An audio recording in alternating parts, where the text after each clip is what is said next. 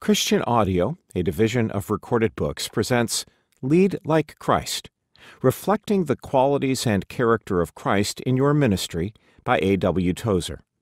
Compiled and edited by James L. Snyder. Narrated by Tom Parks. Introduction Listening to a Tozer book can be quite a challenge.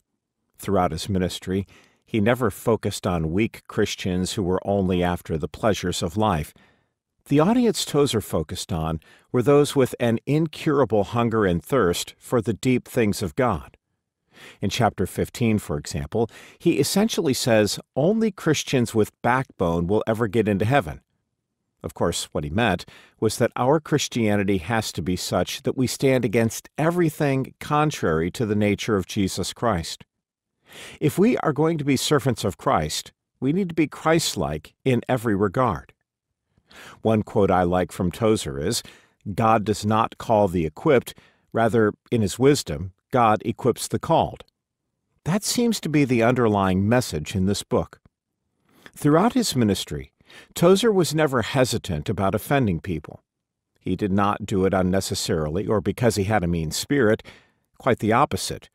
He knew that some of the things he was teaching and writing about would not be acceptable to immature and carnal Christians.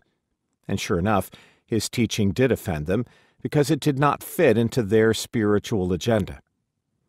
This book is based on a series of sermons on the book of Titus. In this series, Tozer used Paul's advice to Titus to guide those of us today who want to serve Christ acceptably. This is not an inspirational book to help spiritual leaders feel good about themselves. Consider it a workbook to empower men and women to be the kinds of leaders needed by the church today, to drive them to their knees in absolute surrender. Sound doctrine is so essential that Tozer does not write to CEOs, but rather to people akin to CTOs, Chief Theological Officers.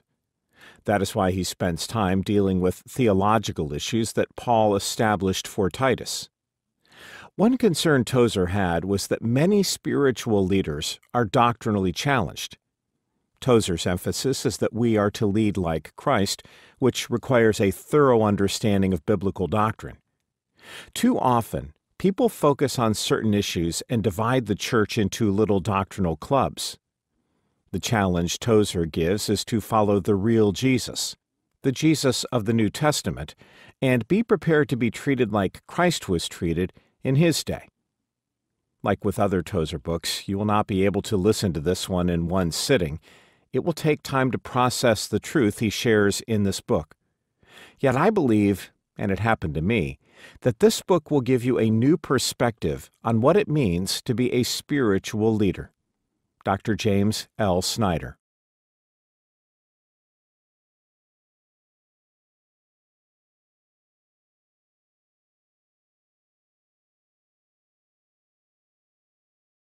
Chapter 1 Lead Like Christ The Foundation. That I may know him and the power of his resurrection and the fellowship of his sufferings, being conformed to his death, if by any means I may attain to the resurrection from the dead. Philippians chapter 3, verses 10 through 11. Many are interested in what we call ministry. Yet, my heart saddens to realize that many do not understand what spiritual ministry is all about from the biblical point of view. For some reason, we have brought into the church the world's business methods to fulfill Christ's call. A journey through the Gospels will show the passion Christ had when it came to ministry. He completely rejected the world and even religion to minister to the people around him. I'm not against education, but I do feel many people are too educated. And by that, I mean they are educated beyond their ability to function in the spiritual world. They are trapped in techniques and methods. If secular education were absolutely necessary for ministry, that would rule me out. After my first day of eighth grade, I came home from school and told my mother that I could do a better job than my teacher. I never returned to school and instead spent most of my time in the library reading books. It was perhaps a little arrogant of me, but I eventually got over it. Education is important, but where it's coming from and how we handle it matters. A friend of mine used to say, Get as much education as you can and earn as many degrees as possible. And then, when you're all finished, lay it on the altar and give it over to God. If God uses it, great. If God does not use that education, that is His choice. Christ, the Key to Ministry. This book is not a book of techniques and methods, a book that could be titled something like 10 Keys to a Successful Ministry. That would be how a worldly minded person would approach it. There is only one key to ministry Christ. When Abraham laid Isaac on the altar, it must have seemed like the most horrendous thing he had ever done in his relationship with God. Isaac represented everything Abraham had worked for, and now God wanted him to lay his son on the altar. Yet, when Abraham did it without reservation, God gave Isaac back in a way that Abraham never could have imagined. When we lay our education, experience, and expectations on the altar and give our ministry over to God without reservation, and are even willing to walk away from it, then God in His power can give what He wants us to have. God does not call the equipped. Rather, in His wisdom, God equips the called. And that's where the power and authority of God flow in the life of the servant. The equipping of God's servant is a wonder that flows from heaven, and nothing on earth can hinder it. In no way is biblical ministry associated with business. Business techniques of the world cannot accomplish the goals of spiritual leadership. When we use the world's methods, we push aside the work of the Holy Spirit. It is the Holy Spirit and nothing else who runs and energizes our spiritual leadership. To grieve the Holy Spirit is to jeopardize the true ministry of Christ. Whenever God moves, he pushes aside the world and the focus is on Christ. The world cannot honor Christ, only the true church can. I'm not sure a church's size has anything to do with this, but I've noticed that the bigger the church, the more it relies on worldly and business methods. If we are going to lead like Christ, we need to model our leadership after His and observe how He dealt with the issues of His day. At the time, His main opposition was religion. The religious people and leaders did not want anything to do with Jesus. They considered him a danger to their religiosity and lifestyle. The government also opposed Jesus, and when the Pharisees tried to get Jesus to choose sides between religion and Rome, he responded, Render to Caesar the things that are Caesar's, and to God the things that are God's, and they marveled at him. Mark chapter 12 verse 17. When Jesus walked on water, it was a great illustration that he never allowed worldly circumstances to determine what he was going to do or not do. Remember what happened to Peter when he tried to walk on water? He became obsessed with the circumstances and fell in. In this book, my purpose is to focus on how you and I, as servants of Christ, can lead like Christ in the circumstances we are in today. My focus will be on the book of Titus, which records how Paul mentored Titus to be a model servant and lead like Christ. The foundation of spiritual leadership. But before we go further, what is the foundation for all of this? On what do we build our spiritual leadership? Again, is it education? Is it experience? Is it adopting the world's methods? No, it is none of that. Thus, we need to clearly understand what we build our ministry upon. I want to say right here that every born again Christian is involved in ministry. We are not called to do the same kind of ministry as our brother or sister, but all of us together are engaged in the ministry of Jesus Christ. To lead like Christ, the first thing we need to know is to know Christ. This is a crucial element of spiritual leadership.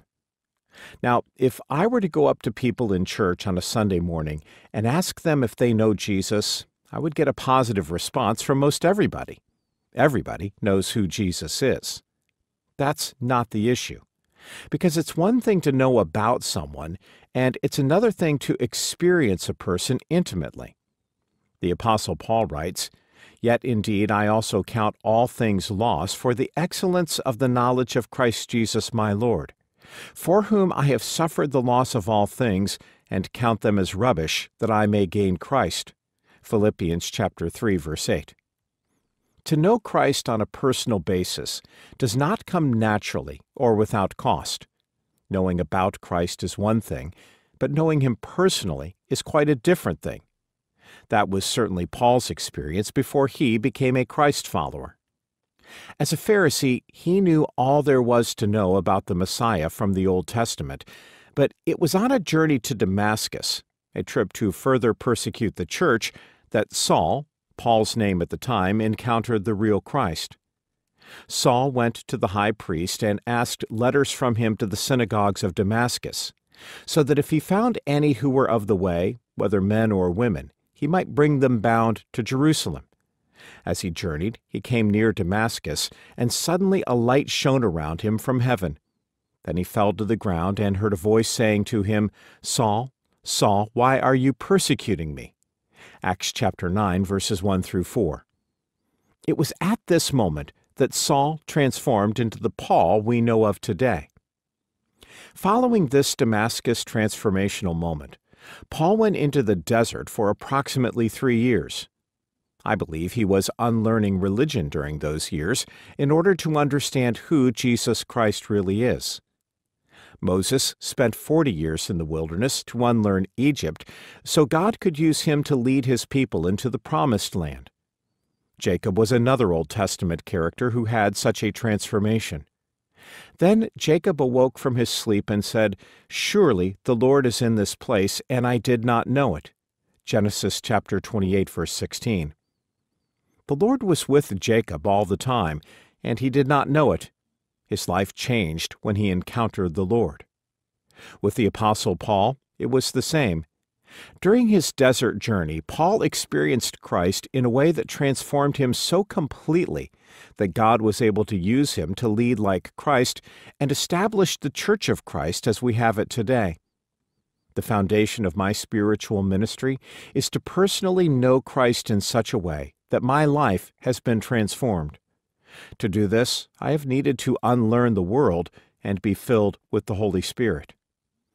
To lead like Christ, we need to work in resurrection power that has nothing whatsoever to do with the world's elements. I can't emphasize it enough. This begins with a transformational encounter with Jesus Christ. Out of this experience will flow a passion and desire to serve Christ that colleges and seminaries cannot provide. I like Charles Spurgeon and the requirement they had at Pastors College. They would not accept an applicant for the college until he could prove he had been called of God for ministry. Spurgeon's idea was that you don't go to college to discover your call, you go to college because you have been called of God to serve. This perspective is lacking today. Consequently, our churches are suffering drastically because of the lack of Christ led leadership. My purpose is to inspire you to discover your calling in Christ that will enable you to receive the power and the anointing of the Holy Spirit in your life. As you build on the spiritual foundation of Christ, you will begin to see ministry from a completely different perspective. You will see ministry as Christ sees it and see people as Christ sees them. I praise you, O Father, for the love you show to all of us in allowing us to be part of your work here on earth. Help me today to surrender to your way of doing ministry that I would honor you. I ask this in Jesus' name. Amen.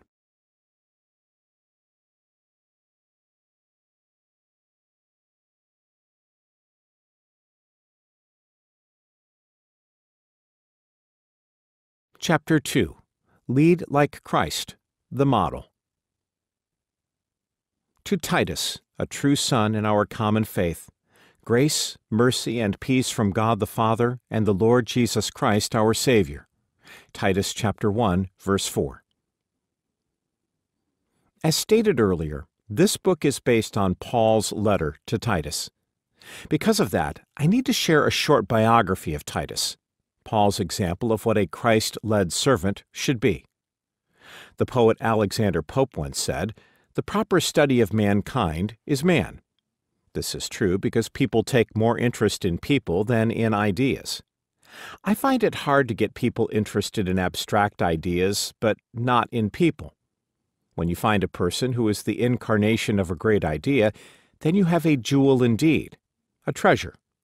In both Paul and Titus, we have this jewel.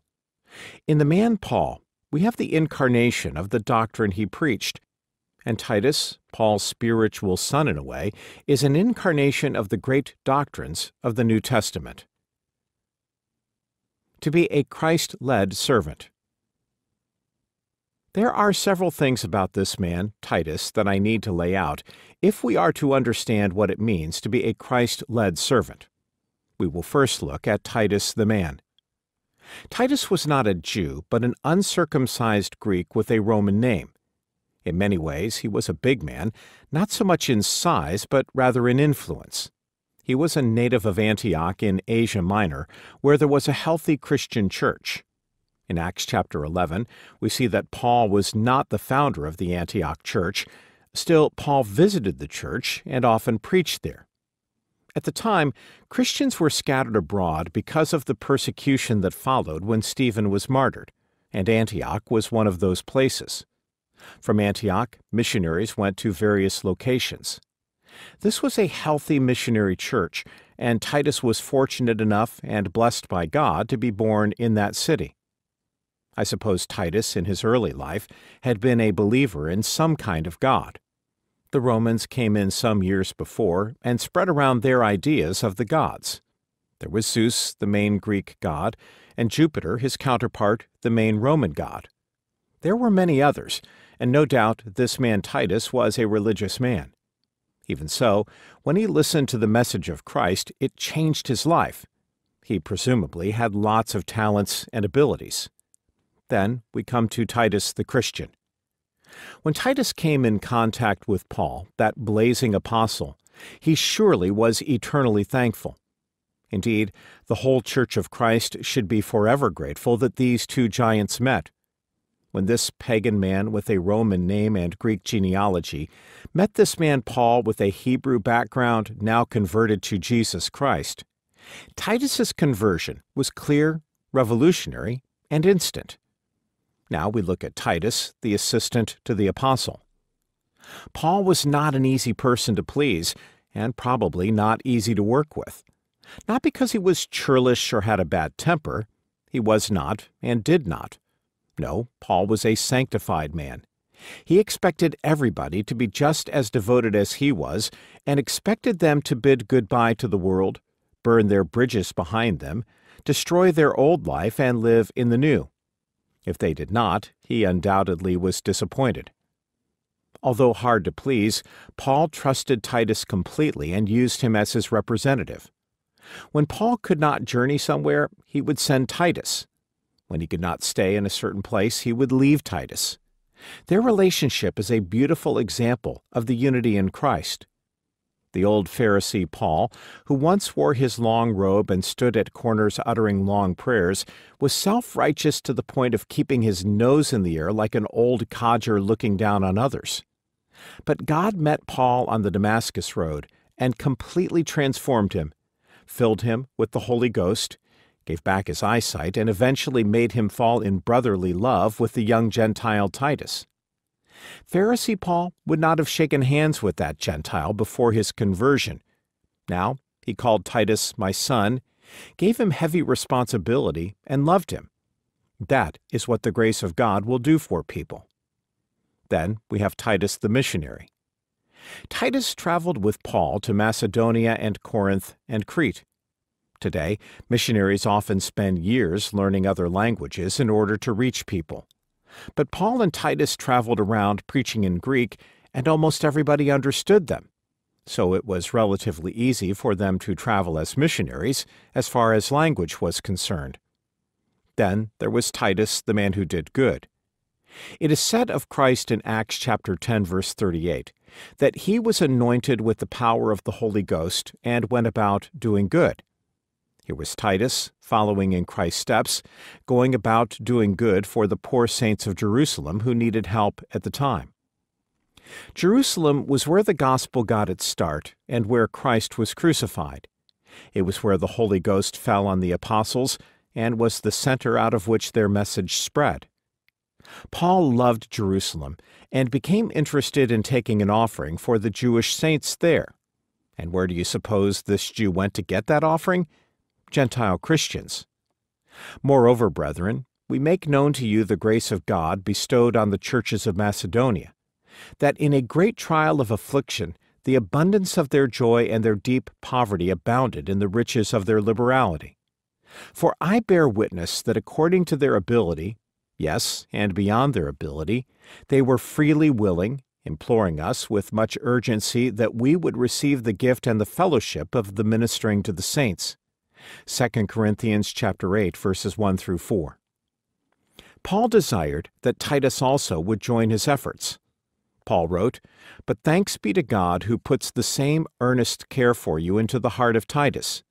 For he not only accepted the exhortation, but being more diligent, he went to you of his own accord. 2 Corinthians chapter 8 verses 16 through 17. Corinth was a well-to-do church, while Jerusalem was in need. But Titus had a plan. I'm going to kill two birds with one stone. I'll kill poverty in Jerusalem, and I'll kill stinginess in Corinth. Titus went to the Corinthian church and essentially said, I've come to give you an opportunity to do something wonderful. What's that, Brother Titus? They responded. Well, he said, I've come to allow you to give an offering for the poor saints in Jerusalem. I can imagine some old deacon might have stood up and said, Now, just a minute, Titus. We're Gentiles, and those people in Jerusalem think we're dirt. They wouldn't have anything to do with us. With his Christ-like attitude, Titus replied, You don't know them. They're Jews, but they're Christians and have changed their attitude against us Gentiles. Besides that, they're hungry. What difference does it make what they think of you? The question is, what are you going to do for them? And with that, of his own accord, Titus took an offering from Corinth. That was the man Titus. Always expect more from people who have more. Then there was Titus the organizer. When Paul sent Titus to Corinth to help straighten out that church, he explained, For this reason I left you in Crete, that you should set in order the things that are lacking, and appoint elders in every city as I commanded you. Titus chapter 1 verse 5. God gives different gifts to different men, and to Titus he gave the gift of organizing. Titus could walk right into a disorganized, bumbling church and pull it back to order. Finally, there was Titus the optimist. In general, I do not like the word optimism. Crackpot poets have used the word in the wrong way. However, Titus was a cheerful brother valued by Paul. I had no rest in my spirit because I did not find Titus my brother.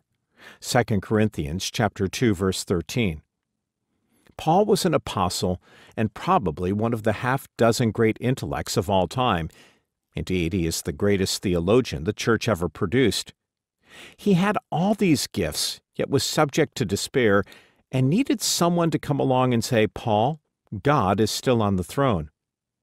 Imagine that old Pharisee needing the consolation and a good cheerful talk from a Gentile years younger than him. That is a gift in itself, to be able to console an apostle.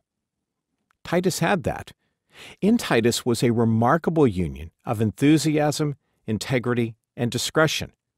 Those are three beautiful words. A beautiful reflection of Christ. First, there is enthusiasm. I like enthusiasm. Most Christians drag their feet. Half the work of the preacher is to get people to lift their feet and stop dragging. Many Christians, when it comes to the work of the Lord, have to be dragged, pushed, or pulled up, but not Titus. Titus was enthusiastic. He came out of the prayer room enthusiastic and had integrity. He was a sound man. When Paul wanted to appoint someone to carry that offering amounting to a lot of money to Jerusalem, you know who he appointed? Titus. Titus could be the treasurer, and you would not even have to audit his books. Titus went back to the Gentiles and carried to Jerusalem the gifts of the Macedonians and Corinthians and other churches. So he had enthusiasm linked with integrity. Along with that came discretion. Some of the Lord's dearest people are good, honest people, but not discreet. They say and do the wildest things, but not Titus. Paul trusted Titus because he had discretion and integrity linked with enthusiasm. I pray that God would give us this kind of spirituality so we can indeed be the Christians of the first order and pour ourselves out as Titus did. God honors us by using us and working through us. He gives us a missionary mind and teaches us to give our goods to feed the hungry. A person truly does God's work by giving to missions or a church or by giving a little gift to somebody. This keeps us optimistic and enthusiastic. This is a brief picture of this man Titus, who, according to the Apostle Paul, was a beautiful reflection of the Lord Jesus Christ. This was Paul's idea of leading like Christ and the pattern Paul has for us today. The rest of this book, built on Paul's estimate of Titus, lays down the foundation of what spiritual leadership must look like. O Heavenly Father, I praise you for men like Paul and Titus. I pray that you would raise up men like that in our day. Challenge me, O God, to walk in ministry as they walked, to the honor and glory of God. Amen.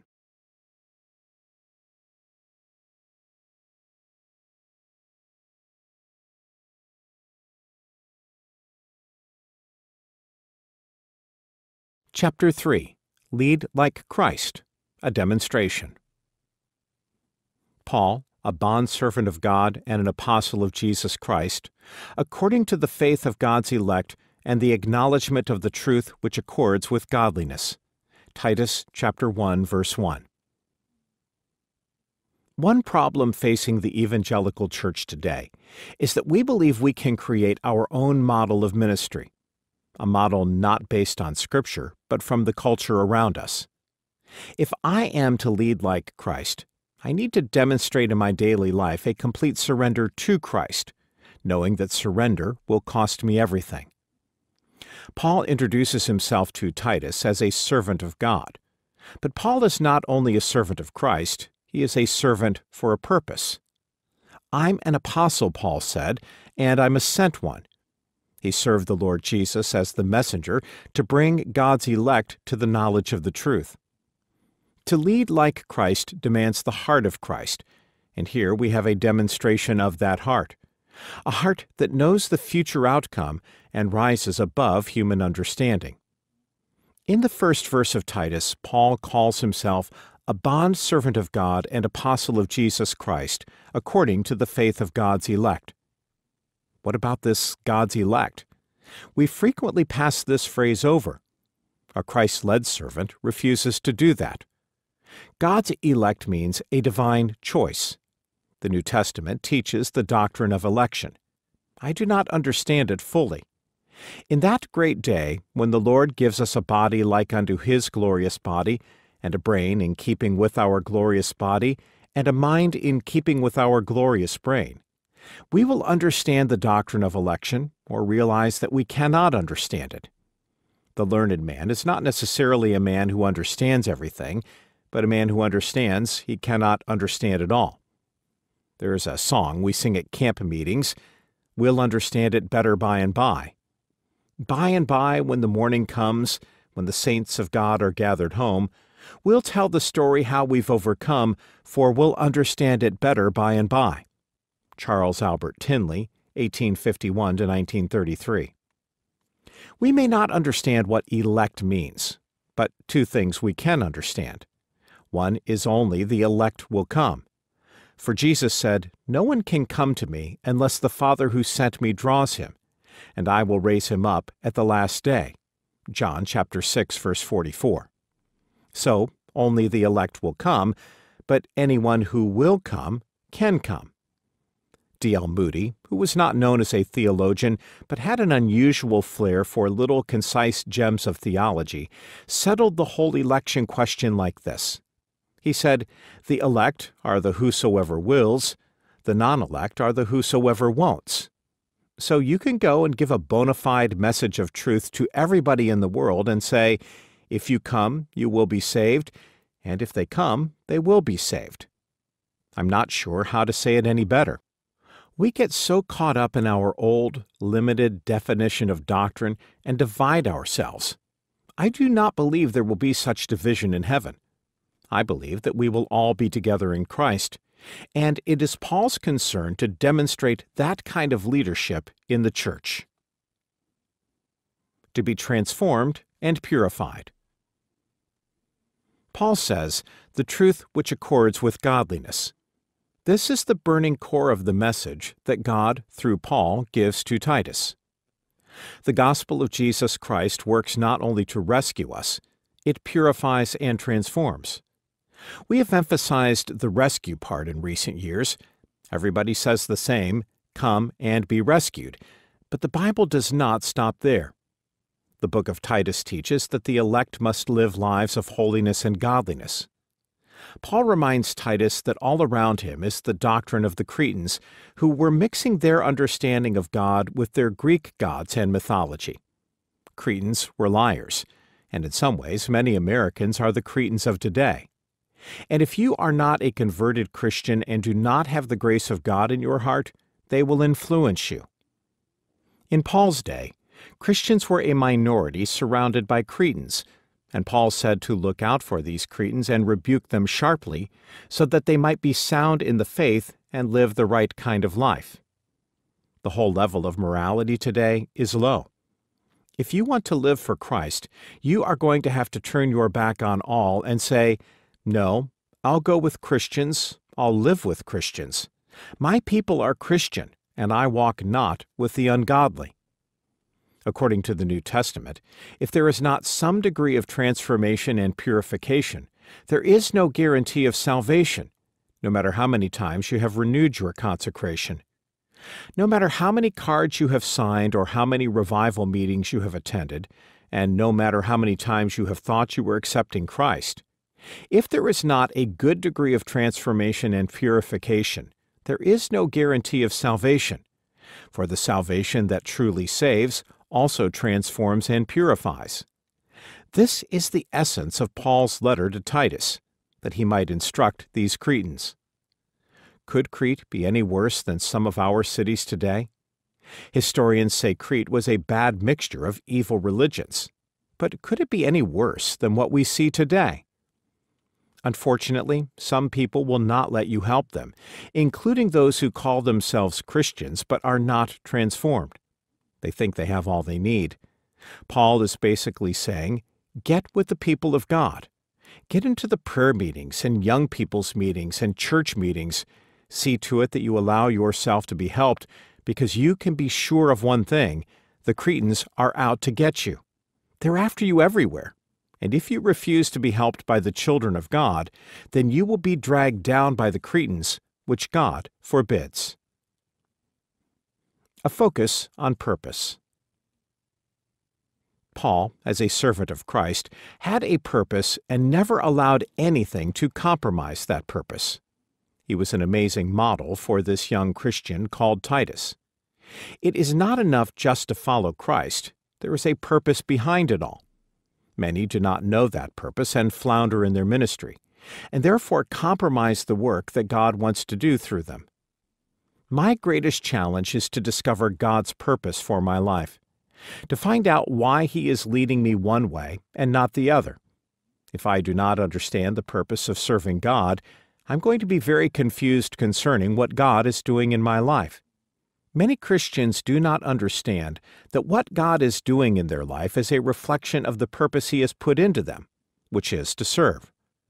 One thing we know for sure about the Apostle Paul and I believe it flowed over into the life of Titus, is that Paul never forgot his purpose. All the things that he endured and went through never took away his focus on purpose. He was serving God for a purpose, rooted in who God was and how God had called him to be such a servant.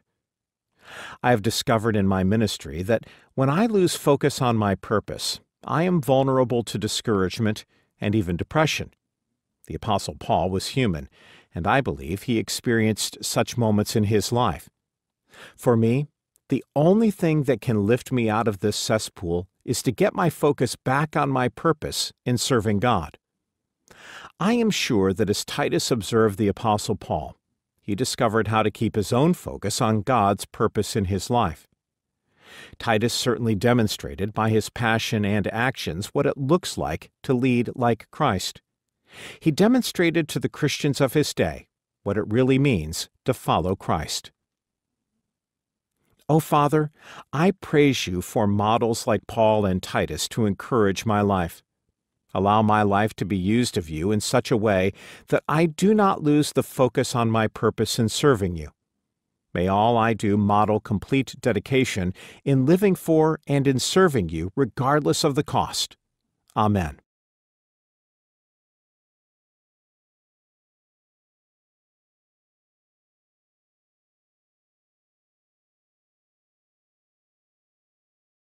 Chapter 4 Lead Like Christ Motivated by the Complete Truth.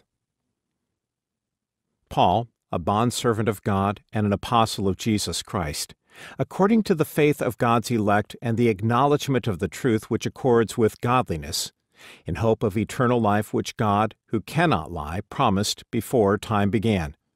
Titus chapter 1 verses 1 through 2. To lead like Christ, it is necessary to have the kind of motivation that led Christ.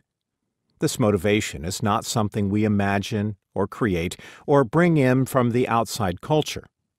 The motivation comes from its original source, the truth as it is in Jesus Christ. To understand truth is a great challenge. For example, understanding the truth about eternal life is probably the greatest challenge. We need to get together all of the truth for it to be the real truth. That is our real hope. I do not think anybody would even attempt to argue that eternal life is not a supreme treasure, for it is. May we not overlook how valuable, how precious it is, or what a supreme treasure lies in those words, eternal life. This is the life lost in the disobedience and the fall, yet brought again to us by the coming of Christ, who declared, I have come that they may have life, and that they may have it more abundantly. John chapter 10 verse 10. And everybody knows John chapter 3 verse 16, for God so loved the world that he gave his only begotten son, that whoever believes in him should not perish but have everlasting life. Therefore, this supreme treasure lost once to us is now brought back to us by Jesus Christ and given by faith. Finding the synthesis. A question may arise when Paul says, in hope of eternal life. Is that hope a future thing? I think this so plain that it does not need to be labored. You hope for what you do not have. You cannot hope for what you already possess. Hope is lost in realization. Therefore, in hope of eternal life means that eternal life is future to the church. So, is eternal life present or future? Do we have it now, or are we looking for it? Again, the fact that Paul says, in the hope of eternal life, indicates that we are watching and hoping for it. If we had it, why would we yet hope for it? Before we look further at what eternal life means, we need to explore a seeming contradiction of terms. People question why eternal and everlasting are used in different places in Scripture to modify the word life. Do they have different meanings? There is such a thing as musical language using certain words that are pleasing to the ear. This is why translators in one verse say eternal life and in another verse say everlasting life. There would be places where eternal life would not fit in musically, so they changed it to everlasting, since everlasting and eternal mean the same thing in Greek and are synonymous in English. If we say eternal or everlasting life, there is no difference. They are the same words from the lips of Jesus or from the pen of Paul or John. Ralph Waldo Emerson once said, A foolish consistency is the hobgoblin of little minds, adored by little statesmen and philosophers and divines. Being in bondage to one line of thought is not scriptural because the truth is so vast and so many faceted that it can rarely be stated in one proposition.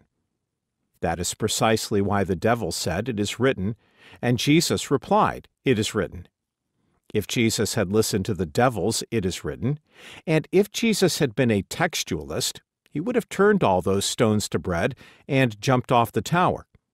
Had he been in bondage to words, as some brethren are, he would undoubtedly have played straight into the devil's hands for fear of contradicting himself.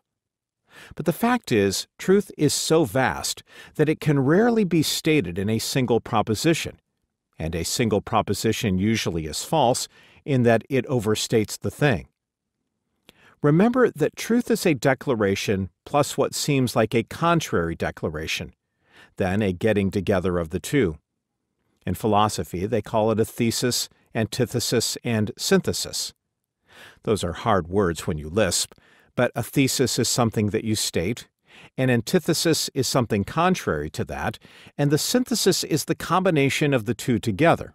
And that is where the truth lies.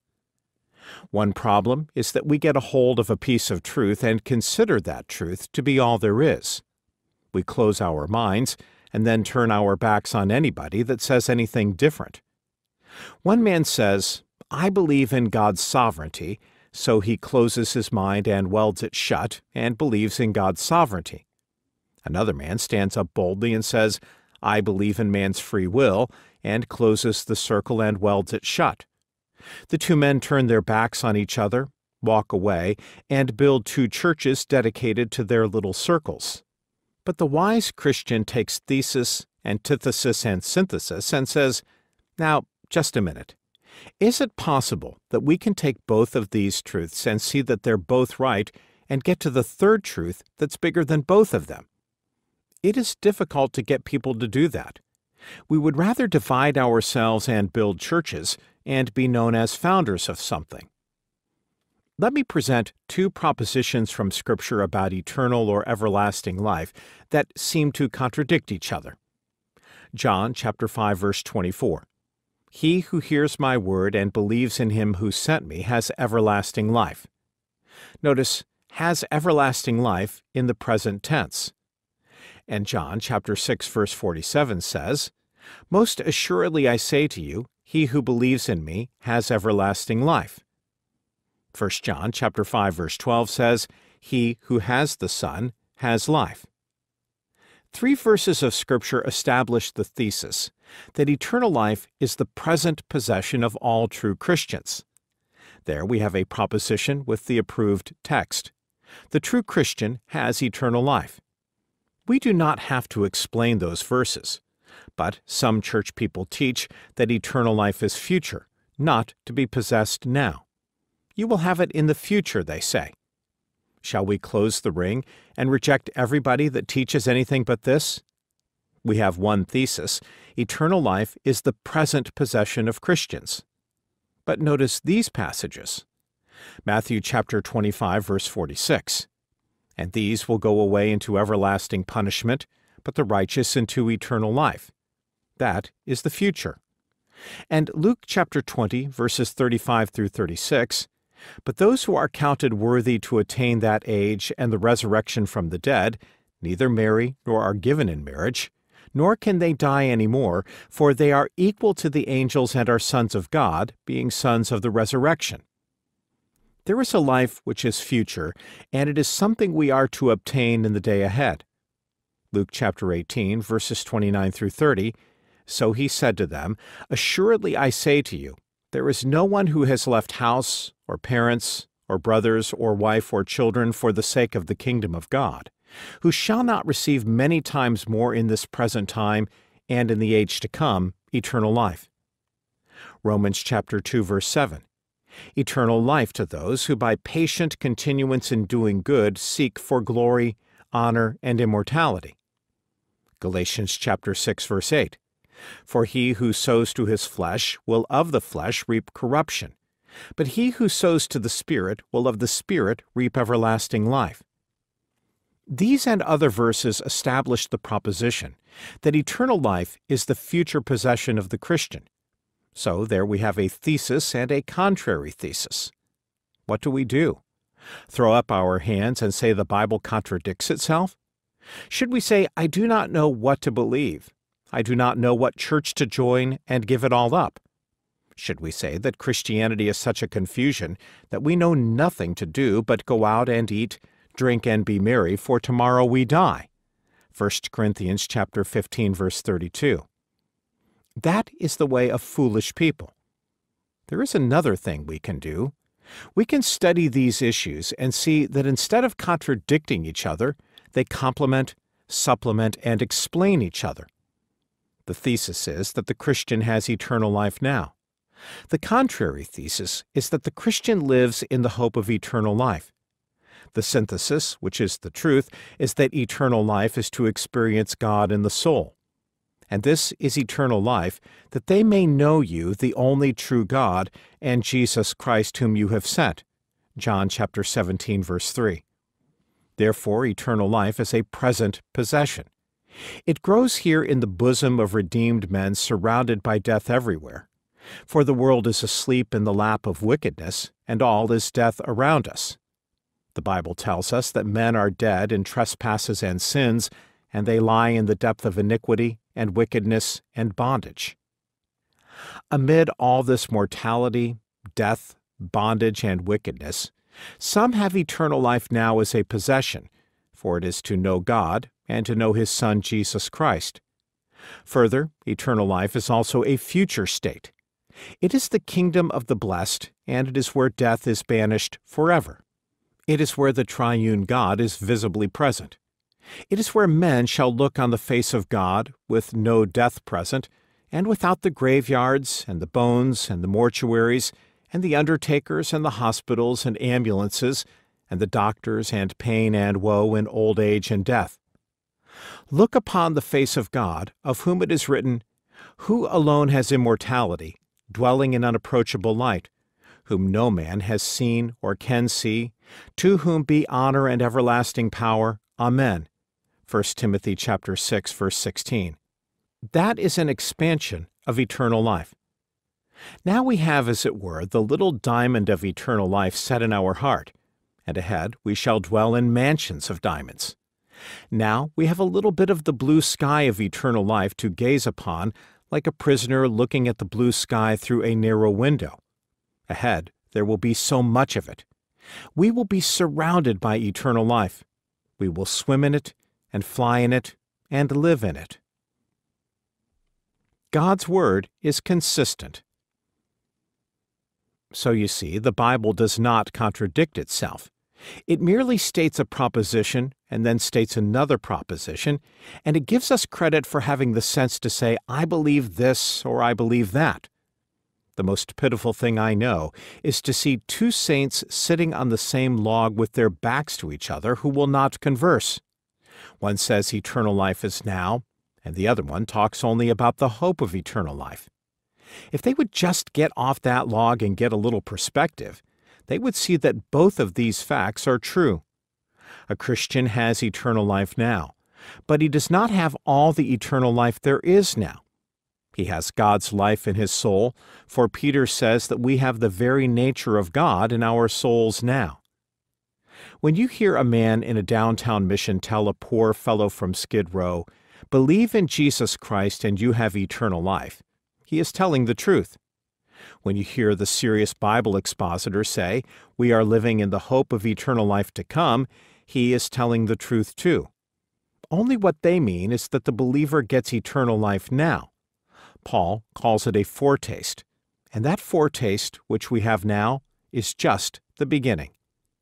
Now, when I say I have eternal life, thank God, and in the next breath I say the gospel is the hope of eternal life, People say, There he goes again.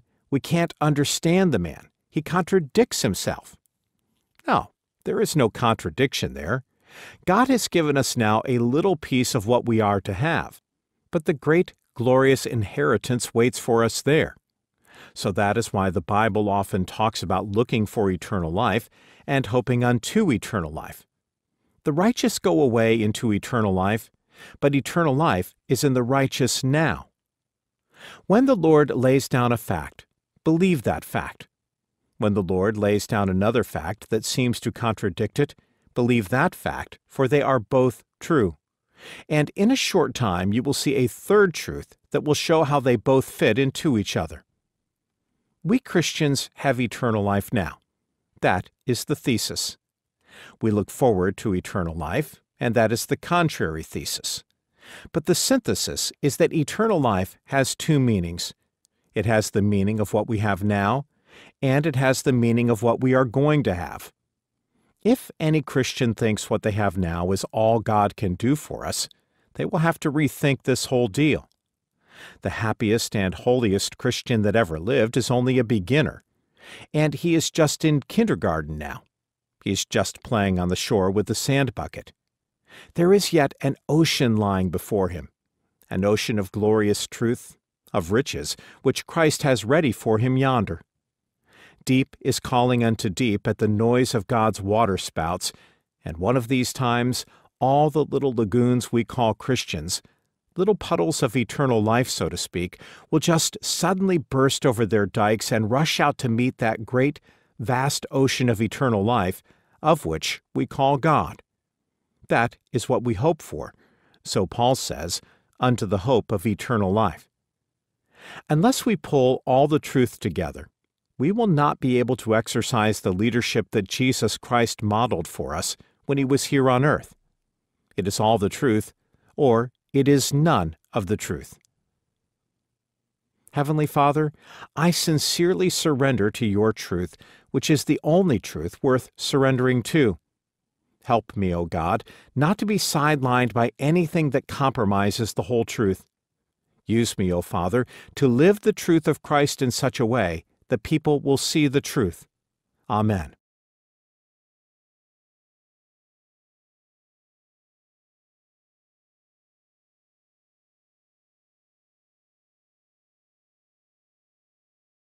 Chapter 5 Lead Like Christ The Framework of God's Promises. In hope of eternal life, which God, who cannot lie, promised before time began. Titus chapter 1 verse 2. Building Christ-like leadership qualities within us and others requires understanding God's promises. We need to know what the promises are and how they pertain to us and the people we're trying to serve. In our study of Titus, we come to another important part of the text. God, who cannot lie, promised before time began. We know, of course, that God here is the God of Abraham, Isaac, and Jacob the God and Father of our Lord Jesus Christ, whom Paul said to be the only God. We have one Father, one God, and the hope of eternal life in the broader aspects of the world to come. A promise is only as sound as the one who makes it. Look into who made the promise, and if the initial report is satisfactory, you have some sense of its reliability. Then, further investigate the record of the promise giver whether he or she is 100% sound and has always come through on their promises. If the person has never been known to be anything but honest and true, if they can make good on the promise, there's no need to worry. Say you get a letter promising you something. You might be skeptical, but still you hope the promise is real. You may even ask God, Father, help me to believe. If I got such a letter and found it was simply a kind promise by a man who hadn't always come through, I would smile it off. But if I knew the man had kept past promises and was capable of keeping this one, I would trust his word. This is how it is with the promises of God. He cannot lie. All truth begins with and rests upon him. It is painful to see people struggle to have faith, to believe in God and his promises. They have detached the promise from who made it. When God makes a promise, he can be trusted. Knowing God in the negative. It is interesting that Paul, here in Titus chapter 1 verse 2, speaks about God in the negative, that he cannot lie. Thomas Aquinas, in his book Of God and His Creatures, expressed that we can know God more perfectly from negative statements about his character than from affirmative ones. God's nature is so infinitely removed from ours that we, fallen men and women, find it difficult to describe God. Thus, we can know what God is not better than we can know what God is. Theologians take a similar approach. To understand God's perfections, they often speak of negatives. For instance, if I were to teach on God's self evidence, I would say God had no origin. I do not know how else to express it because human language is limited. Everything else had an origin, including the very seraphim and archangels. But God had no origin, so he must exist in himself, and thus we get the positive using the negative. If I were to teach or meditate on God's self sufficiency, I would say God has no support. And if God has no support, he must hold himself up. Therefore, he must be self sufficient. So, by a negative, we arrive at a positive. If I were to meditate on God's immutability, I would say God knows no change. If God does not change, he must always have been what he is now. Therefore, it is easy to reason that he will always be what he was and is. If I were to meditate on God's infinitude, I would say God has no limitations. If God has no limitations, it can only mean that he is boundless and limitless.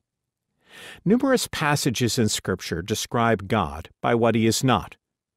The Lord neither faints nor is weary. Isaiah chapter 40 verse 28. For I am the Lord, I do not change. Malachi chapter 3 verse 6. He who keeps you will not slumber. Psalm 121 verse 3. He cannot deny himself. 2 Timothy chapter 2 verse 13.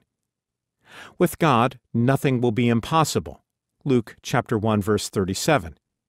It is impossible for God to lie. Hebrews chapter 6 verse 18.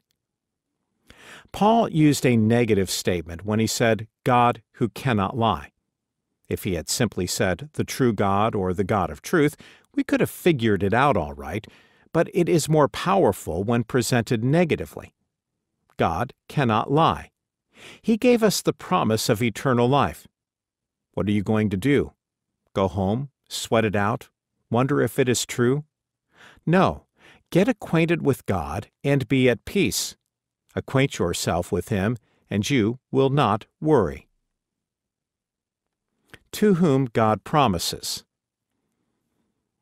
Paul says God promised before time began.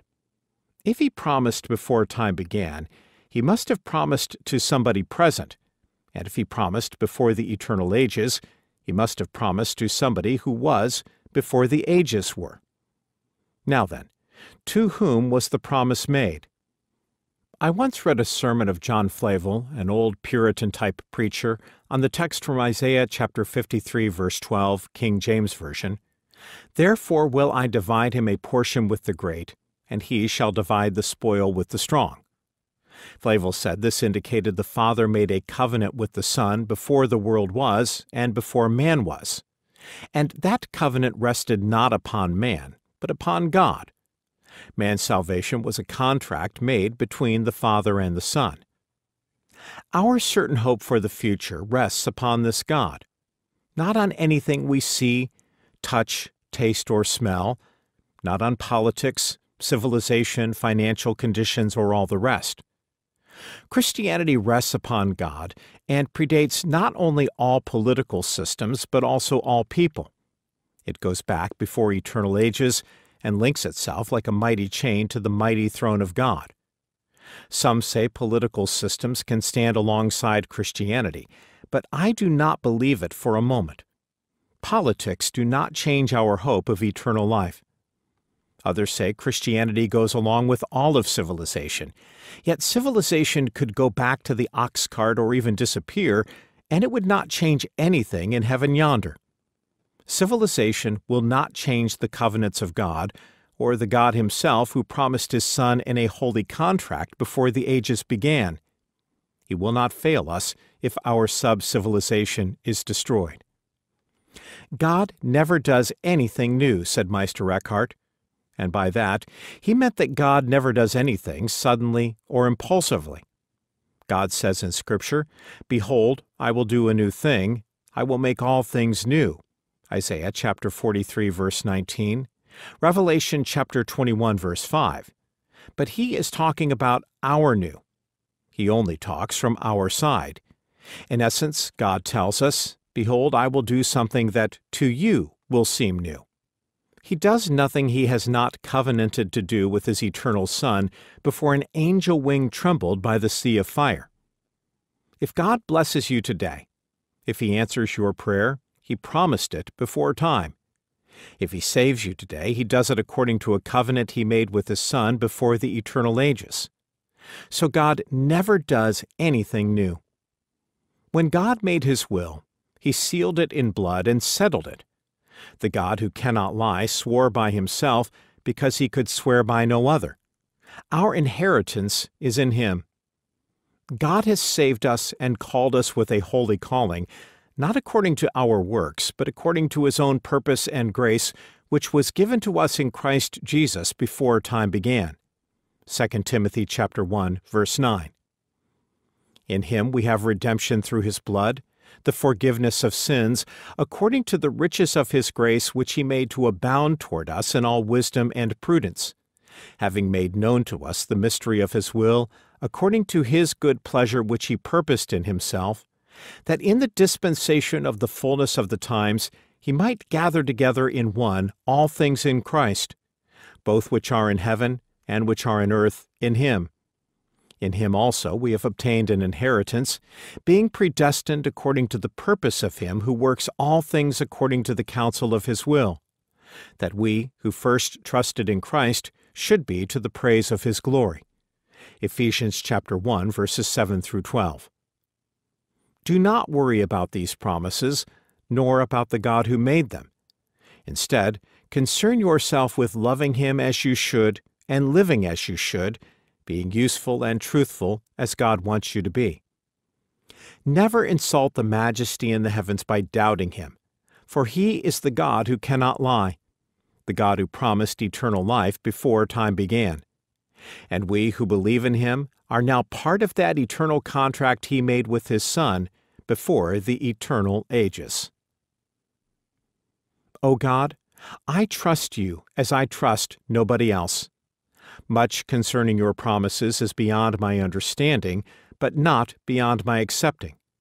With all that is within me, I accept your promises, and with your grace I will live according to them from now to eternity.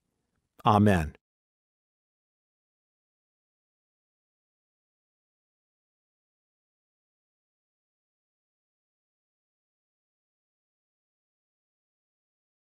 Chapter 6 Lead like Christ, manifested through preaching. God has in due time manifested His Word through preaching, which was committed to me according to the commandment of God our Savior. Titus chapter 1 verse 3. Spiritual leadership depends a great amount on the ministry of preaching. Preaching is not an art, as many think. Books can teach you how to be the best preacher you can be. There's nothing tragically wrong with that, but I would rather be a poor preacher imitating the leadership of Christ in my sermons than be the planet's best preacher. The question becomes Am I preaching to impress, or am I preaching in such a way that Christ is flowing through me to the people I'm ministering to? As we study Titus, observe that Paul could have put a period after, has in due time manifested his word, but he did not. He added a little prepositional phrase, through preaching, demonstrating that Paul's preaching was committed to Paul according to the command of God our Savior. I do not think in all my years I have ever felt weight quite like those two words, through preaching. I think of God's condescension that he should use these words at all.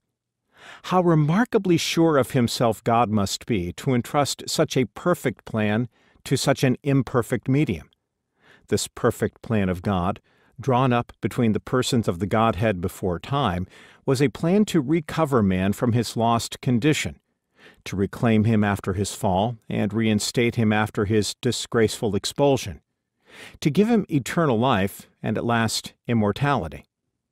The laws of God being what they are, God being who he is and his nature being what it is, this was not easy. This plan had to do with the morality and the structure of the universe.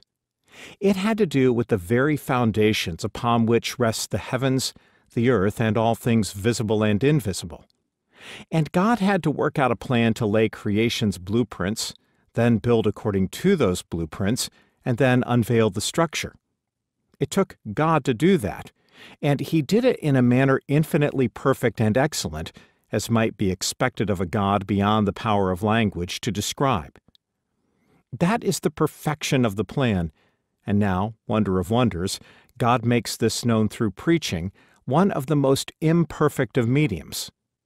Why is preaching imperfect? Because language is involved, and wherever language is involved, there is imperfection. Language does not become profound when it deals with religion and the soul of a man. Still, there is always imperfection for the simple reason that language is fluid and changes.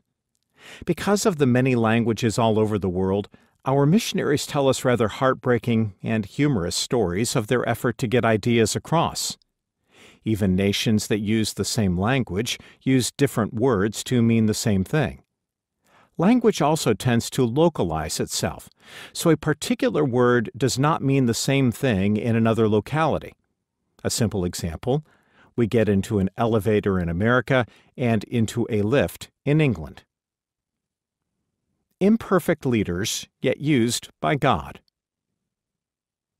Then I think of the enormous, crushing obligation resting upon leaders who stand to declare the truth anywhere. Messengers of the Most High God, they come clothed with the authority of the Most High God, with a message from the Most High God. Yet no secret document ever carried in any portfolio by any ambassador, however top secret it might be, can compare with the seriousness and weight of the message carried by the simplest, poorest preacher that stands today, ready to preach to a little flock. Yes, the future of millions lies in the hands of those that preach the Word and the teachers who stand before their classes to declare the Word. That is a form of preaching, too. Do not rule that out. Giving the Word, teaching the Word, instructing, exhorting, and inspiring men and women and young people. I think of the man who got up lazy one morning, head aching, and said to himself, I don't think I will pray today as much. I think I'll rest. So he puttered around the house, but before long the Spirit of God began to move him, and he declared, I gotta pray. As he prayed, the light of God came on him. Then he went out that night or the next Sunday and preached, and somebody was converted.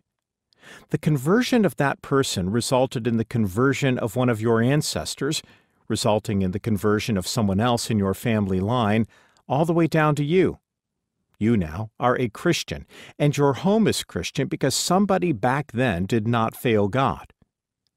Ministry can be a very good place for a lazy man to indulge his talents, for nobody will check on him. He can sleep until noon, and if he gets a phone call at 10 o'clock, he can get up and try to sound alert.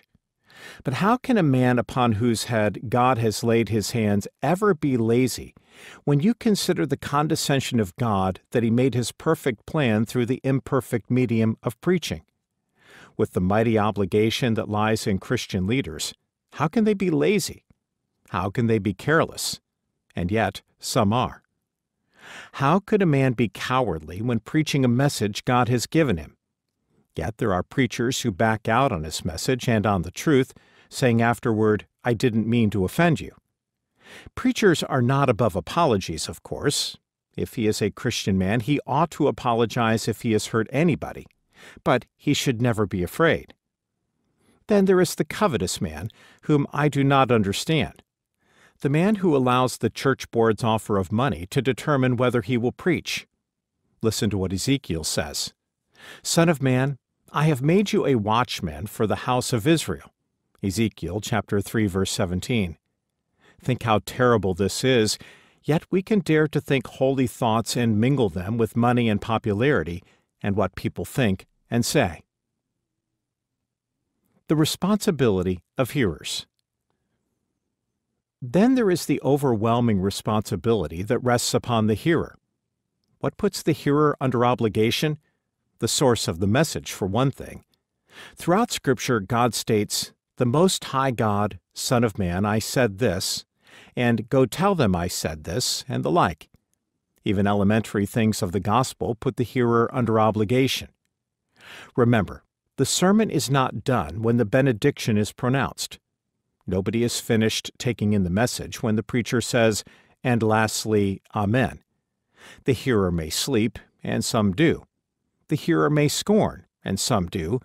The hearer may resist, and some do, but all will certainly face their responsibilities on that great day.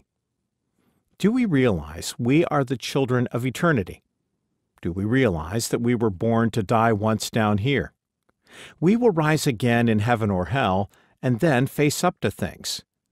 God told Ezekiel, If you warn the wicked, and he does not turn from his wickedness nor from his wicked way, he shall die in his iniquity, but you have delivered your soul. Ezekiel chapter 3 verse 19. Ezekiel knew how serious the charge of God is and that the wicked die in their iniquity. God also told Ezekiel, If you warn the righteous man that the righteous should not sin and he does not sin, he shall surely live because he took warning. Also, you will have delivered your soul. Ezekiel chapter 3 verse 21. So there we have it. Two sides of the same coin. A preacher with his obligation to tell and the hearer with his obligation to hear. May God have mercy. I say, God have mercy on us all. May God have mercy on preachers who fail. Mercy on that prophet called of God who thinks more of his home and his car and his salary and comfort than he does of the souls of men. God have mercy on that cowardly man who edits out the offensive things of the doctrine, for fear that some hierarchy will review him or he will get a reputation for not being sound. Young people, let me encourage you in particular. You can live down reputations that would kill some people. The Holy Ghost comes on you, you get blessed, you bless people, and demand increases for your preaching and leadership. Then those who were trying to stand in your way cannot stand in your way anymore, so they accept you, pat your back, and say, Well, I don't see it quite like you do, but carry on. God have mercy on preachers who fail. I think of the time we have wasted and the time we have misused. I consider, as a man called of God when I was 17 years old, how much I have wasted, and what a poor wretch of a preacher I am compared to what I could have been if I had obeyed God. Finally, God, have mercy on the hearers who ignore their responsibility and refuse to be affected by your gospel. I praise you, O God, for your word manifested through preaching. Thankfully, your word is not based upon my skill in preaching alone, but rather the Holy Spirit working through my preaching. It is not my preaching, but your manifestation through the preaching that is significant. May my preaching reflect your presence alone. Amen.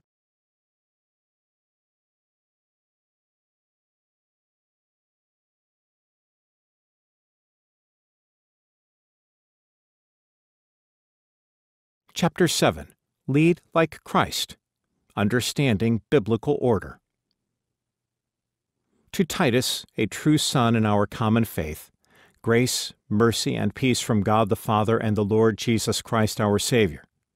For this reason I, Paul, left you in Crete, that you should set in order the things that are lacking, and appoint elders in every city as I commanded you. Titus chapter 1 verses 4 through 5. To maintain Christ's likeness in our leadership, we need to understand biblical order. During Christ's ministry, he never violated biblical order. Indeed, he laid the foundation for such order. Paul outlines for us what that biblical order is and how we are to use it in maintaining Christ-like leadership. We should not make up things as we go. We are to conform to what has already been established for us. We must not labor over elementary or obvious truths, however, we must build on them. The Scriptures state many obvious things, and I would say a large percentage, if not almost 100%, of false doctrines comes out of the inability to know what to do with the obvious.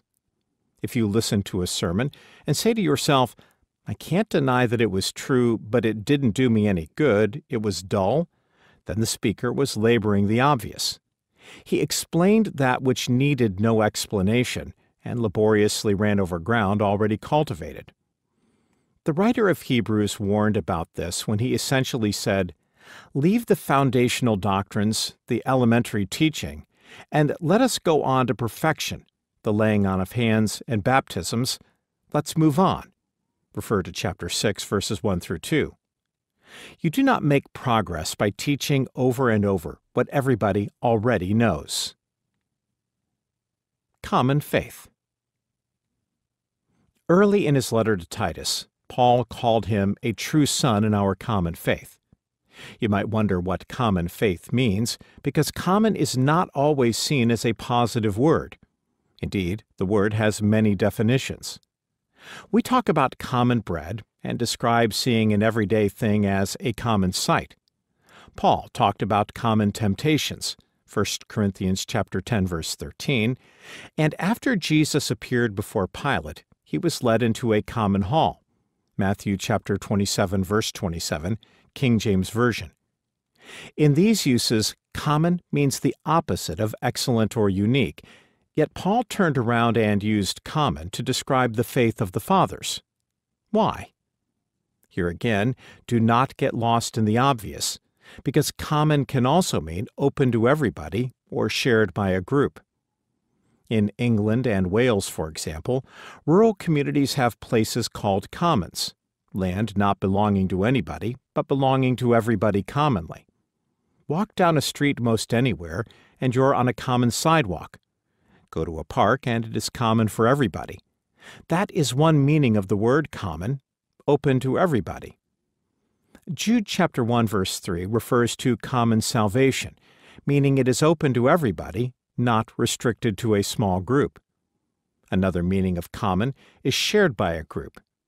Suppose a man and his wife have a baby, but a few months later the boy dies.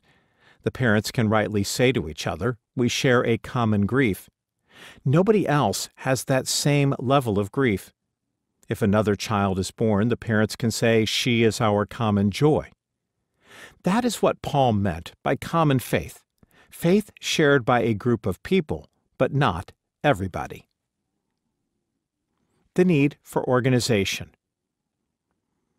Paul continues his letter to Titus with, For this reason I left you in Crete. Crete was one of five large Greek islands, the other four being Sicily, Corsica, Sardinia, and Cyprus. Paul wanted Titus to stay in Crete in order to appoint elders for the churches. Early church fathers sought leaders over other aspects of their ministry too. In this passage, the disciples turned to a congregation to find the best people possible to assist the widows. Then the twelve summoned the multitude of the disciples and said, It is not desirable that we should leave the word of God and serve tables. Therefore, brethren, seek out from among you seven men of good reputation, full of the Holy Spirit and wisdom, whom we may appoint over this business. Acts chapter 6, verses 2 through 3. When only two or three gathered together in the name of the Lord, there was no reason for organization. But as soon as a multitude of believers arose, there had to be some organization, as 1 Peter chapter 5 verses 1 through 3 also revealed. The elders who are among you I exhort. I, who am a fellow elder and a witness of the sufferings of Christ, and also a partaker of the glory that will be revealed, shepherd the flock of God which is among you serving as overseers, not by compulsion but willingly, not for dishonest gain but eagerly, not as being lords over those entrusted to you, but being examples to the flock. Any group of Christians that meets together has to have some organization to function. Otherwise, there will be no order, only chaos and wasted motion. The great proof of this lies in 1 Corinthians chapter 12, where Paul likens the church to the body. Your brain has to tell your nerves what to tell your muscles, and your muscles have to cooperate with your joints, and everything has to work together. So the Church of Christ, if it is going to work, must be organized. An authentic New Testament church must consist of offices, authority, and obedience. We must be ready and willing as Christians to admit this, because that is what the Bible teaches. If a congregation is not organized, I cannot help but pity them. Led by the Holy Spirit. Good men sometimes say things they should never say. The 19th century British preacher Charles Spurgeon was once asked, Mr. Spurgeon, have you ever been ordained? He is said to have replied, No, nobody's ever laid his empty hands on my empty head. Spurgeon rejected ordination, and as a result, laymanism took over the evangelical church. Yet Scripture is clear about biblical order. Look again at Acts chapter 6. The seven men of good reputation did not begin their work until the apostles had prayed, laid their hands on them, and ordained them to the ministry. Verses 3 through 6. God gives no man dictatorial authority over the church. He gives them a position and certain spiritual authority there, which, if the church is a church of God, they will recognize. But he has no right to call all the shots, rule everybody's life, and dictate. Absolutely not. Paul said elders should be serving as overseers, not as being lords over those who entrusted to you, but being examples to the flock. 1 Peter chapter 5 verse 3. They are to be shepherds to the flock, not sergeants that command the flock. There is a difference, and good leaders are those who lead us, not those who command us. The pastor is not a hired man. He is one of the crowd, ordained of God to take certain leadership, and the flock follows him as he follows the Lord. Never think of him as a man to be hired and fired at the direction of some board member. We desperately need the right kind of leadership. What we are getting now is not the leadership of the Holy Spirit. It is a town hall method of leadership with all sorts of new schemes and methodology. The people of the church are God's sheep and should have a voice in selecting those who set things in order. But keep in mind that if the great God Almighty does not ordain a man, he is not an elder, no matter how often he may be elected. To function, the church needs Christ like leadership, fellowship, cooperation, and order. It is wonderful to work together and have everybody willingly doing their part. Where the Spirit of God is, I doubt there is any likelihood of difficulty. That only happens when carnality gets in. Dr. Samuel Johnson, the 18th century British writer, once made one of the wisest, most penetrating observations ever made by an uninspired man. As the story goes, he was sitting around with others in his literary club discussing everything in heaven and on earth. There was never anything too high or too low for them to discuss. They did not sit around, make quips, and tell jokes the way men do today. They discussed learned things. Dr. Johnson settled it for me and for all time when he said, Sirs, I have observed that it makes little difference what form of government prevails in a country. The people will be happy only if the ruler is just. If we are going to honor Christ and lead like Christ, we need to understand this and commit ourselves to it, no matter the cost. I praise you, Lord Jesus, that you are the head of the church and in charge. Help me to surrender to your authority as it works out in my personal ministry. Use me according to your desires to accomplish your work for all eternity. Amen.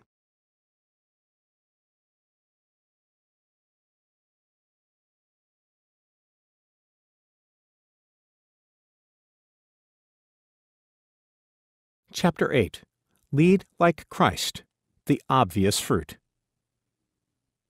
For a bishop must be blameless as a steward of God.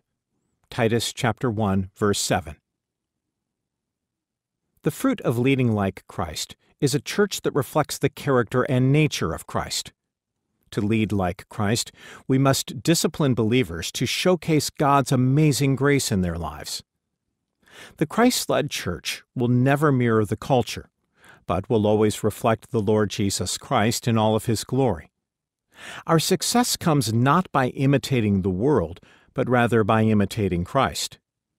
We find ourselves living hundreds of years from the beginning of the New Testament church. Much water has gone over the dam, and much wind has blown across the moor. Many strong dictatorial minds have impressed themselves upon the church during the centuries. Today, we have differing views about bishops, elders, and deacons. The New Testament is not very clear about all of this. It lays down principles, but leaves the outworking of those principles to the church.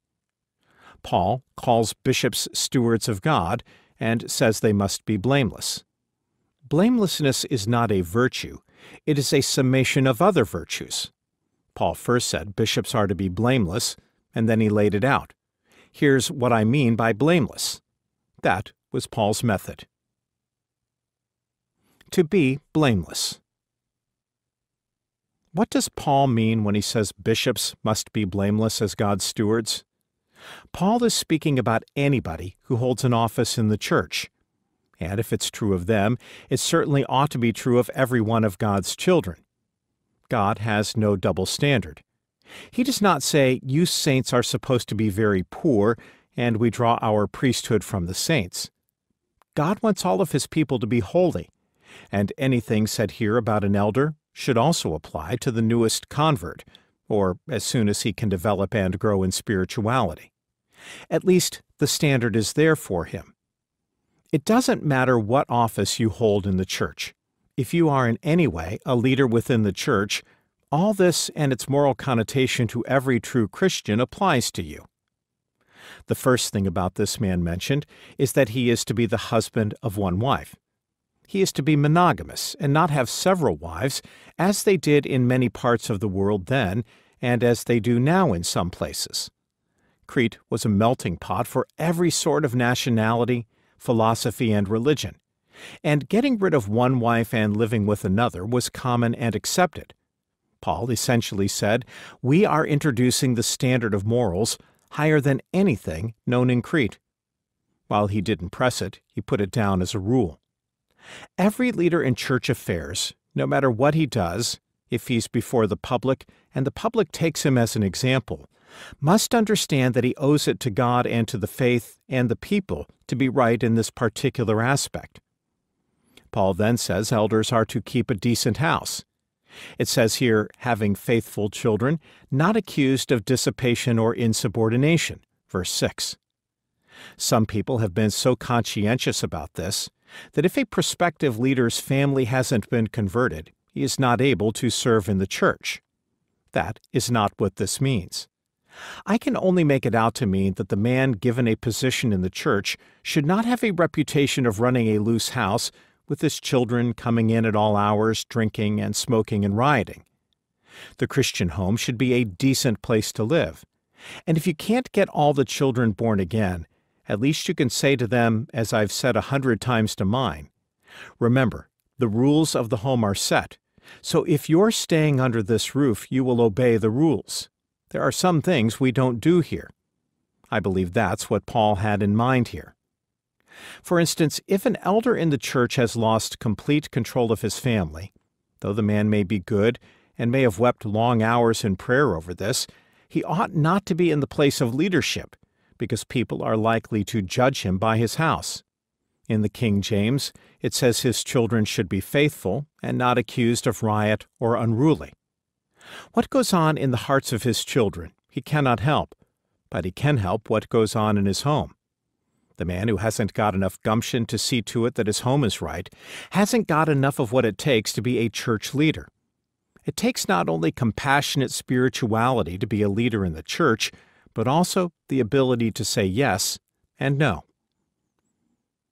Humble and able to work with people. The third thing about spiritual leaders is that they should not be self willed. That is, a leader is not a headstrong fellow who will have his way even if it busts up the whole church. There's no sense in that. Absolutely none. Yet some consider themselves before anything else. We had a word on the farm for such a man. We called him bull-headed. A bull-headed man has no place in the pulpit. In my mind, one of the most bull-headed men who ever lived was Martin Luther, but he had to get over that. He had to come to a place where he said, Old Luther has died, and the Lord lives within. And though it was normal for Luther to be strongly self willed, he had to humble himself and learn to work with people. My entire ministry has been a self contradictory affair. I have a temperament that wants to take orders from nobody to get along with nobody. And yet, I have a spiritual conviction that I ought to, and so I do. My old English father was so self willed and so independent that when he left the farm and came to the city, he resented his boss until he died because the boss told him what to do. My father didn't want anybody pushing him around. By temperament, that's also how I feel. But doctrine and the Spirit and the teaching of the Word tell me that I can't get my way all the time. I will be voted down sometimes, and my opinion sometimes will get slaughtered. The Lord does this to keep me humble. And so we are not to be self willed. A self willed Sunday school superintendent won't get along with his teachers. A self willed teacher won't get along with his class. A self willed deacon won't get along with anybody. In verse 7 of this passage, Paul says a leader also should not be quick tempered. There is no excuse for a bad temper. Let nobody blame it on their family or culture. If you have a bad temper, consider it a blemish of character. Go to God and deal with it. Pray it through. Weep it through until God delivers you from it. Now, a man of high temper cannot promptly be meek. He has to have his temper purified and consecrated so that what used to be a temper that would make him blow up becomes an inward strength of character that makes him love righteousness and hate iniquity. He is stronger for that. But when the devil is in it, he simply gets an evil temper, and an evil temper is always bad. There's no excuse for it. Nobody has any right to get elected to anything in any church if he's got a bad temper. Verse 7 also says elders should not be given to wine. I don't think I need to press this point. This cannot be part of spiritual leadership. If drinking wine causes a brother to stumble, I need to drink no wine. Leaders also should not be violent. The King James says a leader should not be a striker. This is almost funny at first glance, but remember who Paul's writing to the Cretans, and evidently the way some people got their way in Crete was to use their fists. That's actually what striker means. It has no similarity whatsoever to striking like employees sometimes do. Again, what it means here is using your fist to strike a blow. Think of an old deacon trying to get somebody else to do what he's told, and he punches him to get him to obey. You don't have to cuff people around to get obedience. The church has other ways to preach obedience. Money and hospitality. In our scripture passage, Paul also says elders should not be greedy for money not given to filthy lucre in the King James. I can hear Paul, when he uses that word money, kind of rolling it off his tongue. He never had any money. Money is one thing, and filthy money is another thing. Of course, lucre means gain, and filthy lucre means gain gotten filthily, or gain that is loved unduly, so it therefore becomes filthy. So, money is filthy only when you have made it filthy by your attitude toward it. On the other hand, Paul writes elsewhere what to do with money. On the first day of the week, he essentially said, Let everybody bring his money in, lay it up, and give it to God, that it may be given to those in need. Refer to 1 Corinthians chapter 16, verses 2 through 3. Qualified elders must also be hospitable. The church should be an example to neighborhoods around it. The church never ought to take on the complexion of the neighborhood. Never should the Church take on the moral complexion of the age in which it lives. The Church is morally separated from the age in which it lives as Jesus Christ was separated from Rome. The Church should be a separated people, and all of us should be this kind of meek and gentle and quiet and kind and generous people so that the world around us should know what kind of people we are, and the very darkness should make the star of our church shine that much brighter. We should have that kind of a church from the newest convert to the oldest and most honored elder. Nobody should live a life that anyone can point to and say, I don't like the kind of life you're living. If you use Christianity to cover up the way you live, what you need is a revival, and you need it quickly, and you need it badly. We ought to live such perfectly clean, open lives everywhere we go, on buses and trains, at work, everywhere, so that when we get into a religious conversation, we won't be afraid to share our testimony by the way we live. Our leadership should always reflect the values of Christ in all we do, and we should disciple believers under our ministry to do likewise. To lead like Christ always focuses on Christ and ends in Christ. O oh, Father, I submit to the full time rules and order that you make for my life and ministry. Let me never get caught up in anything that would in any way compromise the work you have called me to do. Amen.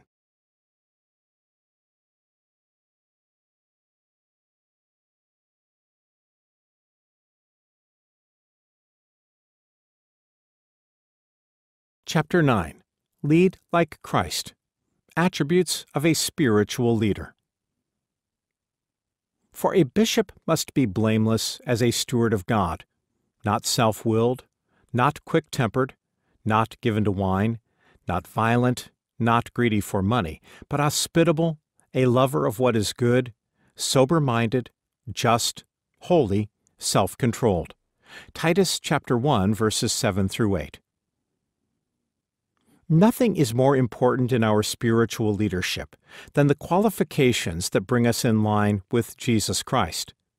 These qualifications do not come from the world. Many leaders are too educated by the world to concentrate on the spiritual ramifications of ministry. We do not need business credentials, but rather an overwhelming call of God upon our life that does not permit us to do anything else. As we introduced in the previous chapter of this book, Paul is telling another man of God, Titus, the qualifications for church leadership. I ask you to notice one thing here which is in glaring contrast to our usual way of judging things. Notice that intellectual qualifications are entirely missing.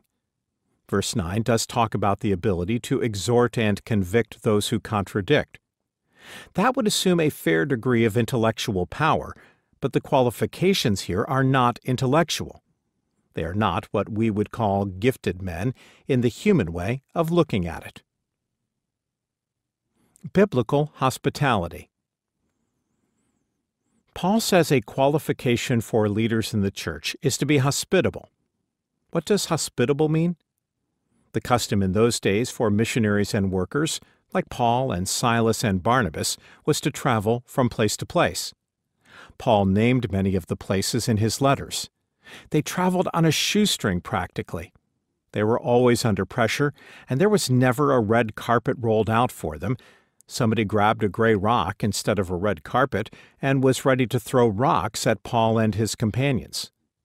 So Christians opened their homes to these traveling preachers, and here is what hospitality means. This does not mean to invite your relatives in. That is something good to do, and it is just taken for granted. That is all right for your relatives to visit and exchange visits and have them come and go. According to Bible commentators and translators, hospitality seems to refer to how they did it then. Christians threw their homes open to the traveling preachers. John warned against throwing their homes open to the wrong kind of preachers.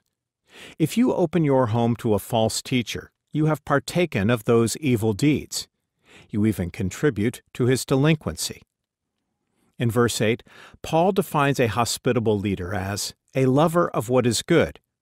In the King James, it reads, a lover of good men. Sometimes translators disagree if good or evil means an abstraction or personality. For instance, the Lord's Prayer says, Deliver us from evil.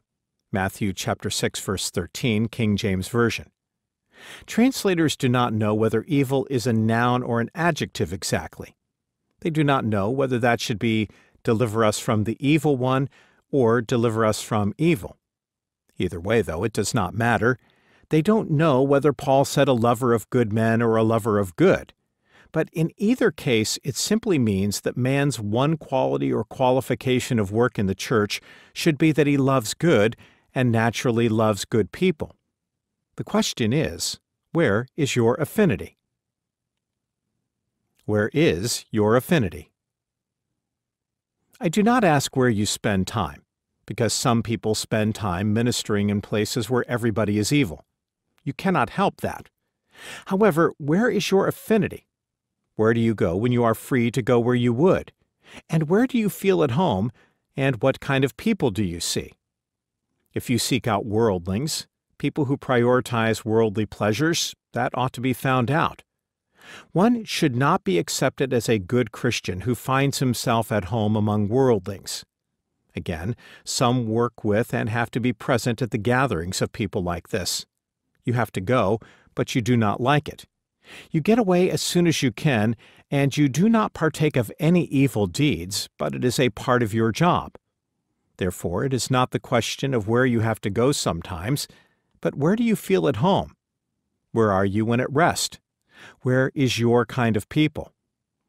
Everybody on an official board in the church ought to qualify as a lover of good and a lover of good people. I cannot see how a church can hope to have God's blessing on it if it tolerates people in places of leadership who are not lovers of good people or who feel at home among lukewarm believers or worldlings. Responsible. Going on, Paul says a leader should be sober minded, not flighty. In the King James, verse 8 uses the word sober, but I think it has nothing to do with liquor. Paul dealt with that when he said we are not to be lovers of wine. Here, sober minded means not reckless, not irresponsible, and not excitable. Pastors know gifted, good people who are yet irresponsible and cannot be trusted with leadership. These people seek freedom, but it is not freedom, it is irresponsibility. Christ says, Take my yoke upon you, but they will not wear a yoke. You cannot say they are going to hell. They say they are not. They will go to heaven by God's grace, they insist. People like this are unbroken colts. They just will not wear any harness. They say that they do not believe that they should because that is contrary to Paul's doctrine of liberty. Still, Paul was very careful to teach that we had all kinds of liberty. We must lay all the responsibility on ourselves for Christ's sake and the church's sake. But some are not willing to do that. So they are irresponsible, reckless, and somewhat excitable and flighty. While you like them, you cannot trust them, and there are thousands of them in the churches. Then Paul says Christ led leaders must be holy. That is their relation to God and temperament. This is your relationship with yourself. There we have again that famous triangle to which I call attention so often. Our relationship with God, with our fellow men, and with ourselves. Paul calls it sober, righteous, and godly further on in his epistle. Here he calls it just, holy, and temperate. The temperate man is a man in right relationship to himself. The holy man is in right relationship to God, and the just man is in right relationship to everyone. You might say, I haven't always been that way. Well, start now. You cannot even hope to go back and undo all you have done, but you can start now. I love that beautiful scripture, Behold, I make all things new. Revelation chapter 21 verse 5. Begin here and begin now. When a man or woman turns to God, God will trust them as if they have never done anything wrong. God starts now. Now is the accepted time. God's now. So the just man is the man who is honest toward his fellow man. The holy man is right in his relationship to God, and the temperate man is right in his relationship to himself. Hold fast to sound doctrine. According to Paul, qualified leaders must hold fast the faithful word. Chapter 1 verse 9. We must remember that Paul was not a technical man. He would not crucify you on a technicality, but he also was not a careless man. Today, we live in an age of creedless religion. We do not believe anything in particular, people say. We just love everybody and love the Lord and gather together around a simple place of worship and fellowship, all going the same direction. But Paul said we must hold fast to the faithful word of sound doctrine. Paul was a doctrinaire. Do not forget it. He said love was everything, but he also made doctrine to be the direction love took, and out of doctrine sprang love. So the church leader has to be a man who holds fast to the faithful word. No loose ideas, no personal interpretations, just the faithful word. He does this so that he may, by sound doctrine, be able to exhort and convince the gainsayers. He has to be able to do two things. He has to expound and expose. He is an informed man who knows the Scripture with the ability to expound and expose. Expound is the positive, expose is the negative. To expound is to tell what the Scripture says. To expose is to show where teachers are wrong. For an example, go to Galatians, Colossians, or 1 John. There are some pretty sharp exposés showing people for what they were. A good leader has to be informed and then have the ability to expound the teaching to some degree and show what is wrong so that people do not end in the woods. Just as sure as you live, a church that gets careless about its doctrine will land in the same place the man will who gets careless about watching the signs if he's traveling across the country and ends up somewhere on a dead end street. Sound doctrine is the clearly marked highway. While it is not everything, it leads to God, and it is so vastly important that it dare not be neglected.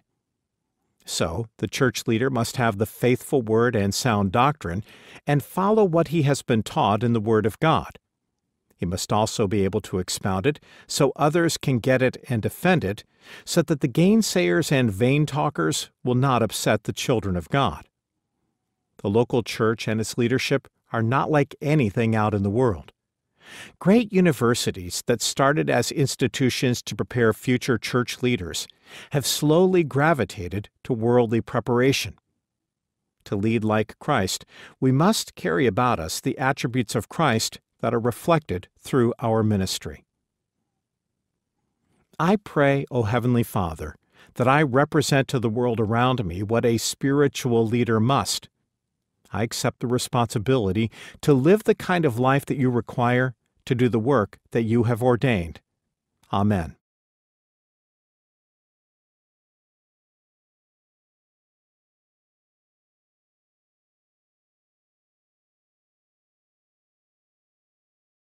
Chapter 10 Lead Like Christ Understanding the Threefold Qualification.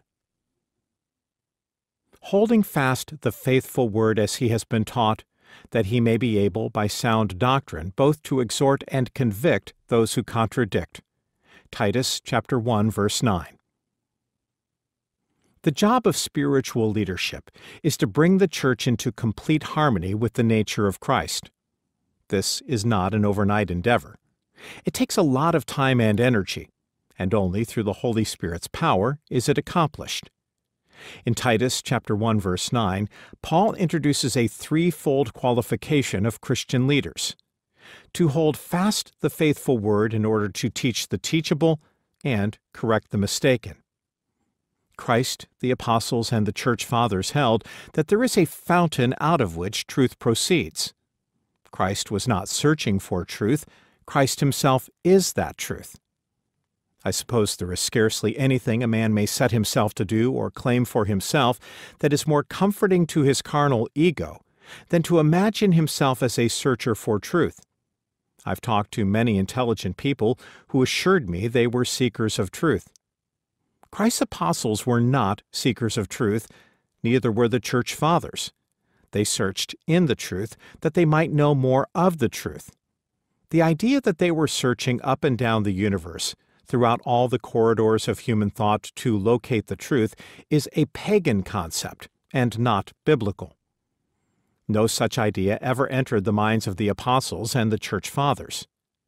They believed that there is a criterion against which all ideas are to be judged, absolute truth, not, as some believe, relative truth. Some truths here in this world are indeed pragmatic and relative. For instance, the truth between man and man. But Christian truth is neither a relative nor pragmatic thing. It is absolute. It does not tell us everything, but it tells us what we need to know about God. That is quite a difference. So, the true Christian, for example, does not look to Greek philosophy to find out about God. The Scriptures tell us what we need to know about God.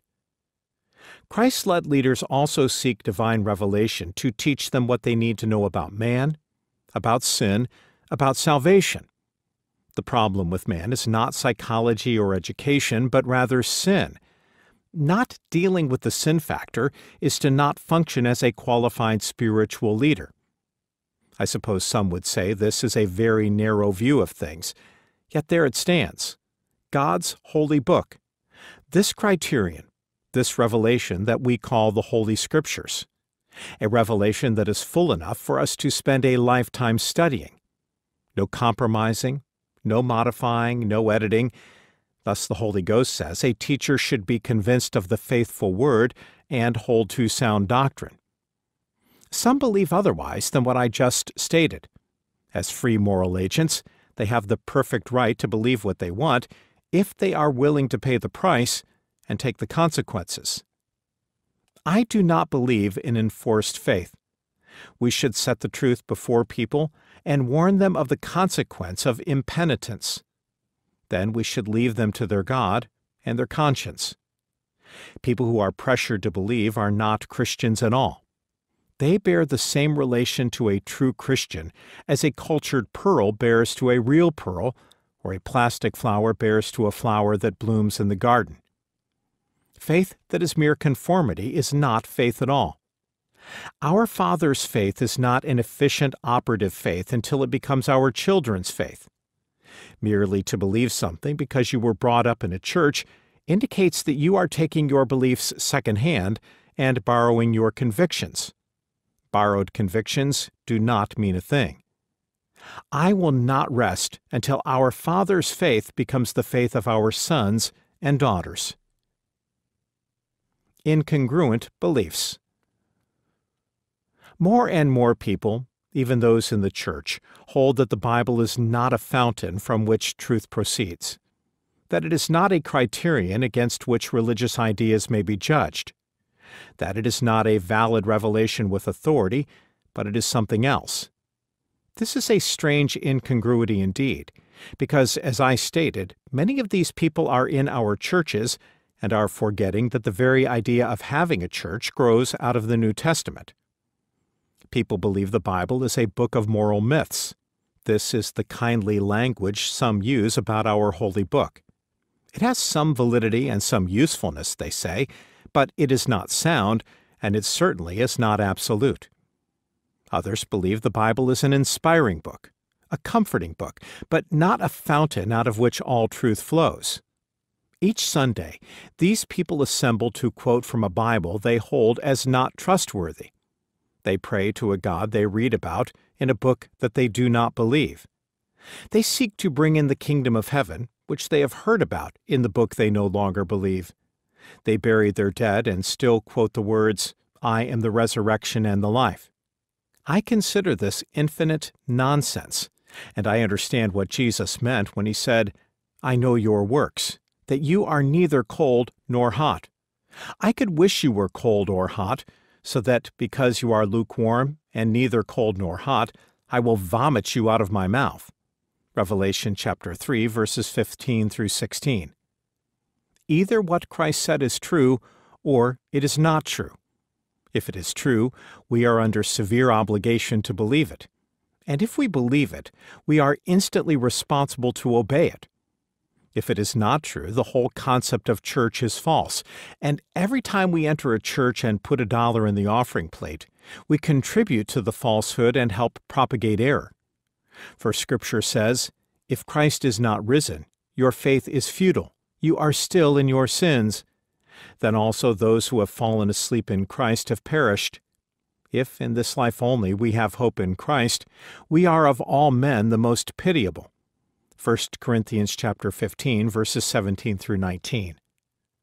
Again, I grant a person the right to be an unbeliever, but I cannot find it in my heart, nor are there any wells of charity deep enough within me, to respect someone who goes to church and at the same time does not believe in the deity of Christ who founded the church.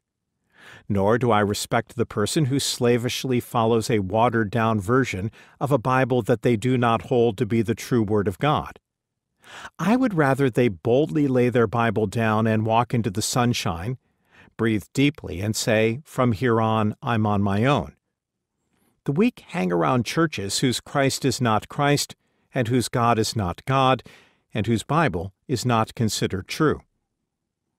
I thank God I can say, Now Christ is risen from the dead, and has become the firstfruits of those who have fallen asleep. For since by man came death, by man also came the resurrection of the dead. 1 Corinthians chapter 15 verses 20 through 21. And yet, if I believe I know everything, it disqualifies me from really being used in Christ led situations. I'm not to proudly puff out my chest and say, I am better than you. I say just as a poor little toad or rabbit might say, Thank God that the sun shines on the meadow and the pond this morning, but I did not make the sun or the pond. God made both. Leaders who think they know everything cannot lead like Christ. The sun shines because God made the sun to shine. So you and I can say, I thank Him reverently that the sun is shining upon me this morning, that the light of truth has reached my heart. I believe in the book. I believe in the Christ of the book. I believe in the gospel that flows out of the book. And I believe in the reality of our Father's faith. Some people will say of us, you're so sure of yourself, you think you are holier and better than me. But how little they know of the true Christian. How little they know that you and I feel we are the worst of all humanity in our hearts, not worthy of being a Christian, and that Jesus Christ, out of his mercy and grace, has saved us. The best Christian knows if he had his own deserts, he would be in hell this hour. He knows it, and he believes it. So all the praise goes to the one who made the sun, not to the one upon whom the light shines. God speaks. After our Lord rose from the dead, Peter said, God has made this Jesus, whom you crucified, both Lord and Christ. Acts chapter 2 verse 36. He showed himself alive after his passion by many infallible proofs. Hebrews chapter 1 verses 1 through 4 says, God, who at various times and in various ways spoke in time past to the fathers by the prophets, has in these last days spoken to us by his Son, whom he has appointed heir of all things, through whom also he made the worlds, who, being the brightness of his glory and the express image of his person, and upholding all things by the word of his power, when he had by himself purged our sins, sat down at the right hand of the Majesty on high, having become so much better than the angels, as he has by inheritance obtained a more excellent name than they. People say, I'm confused. Christianity has so many doctrines.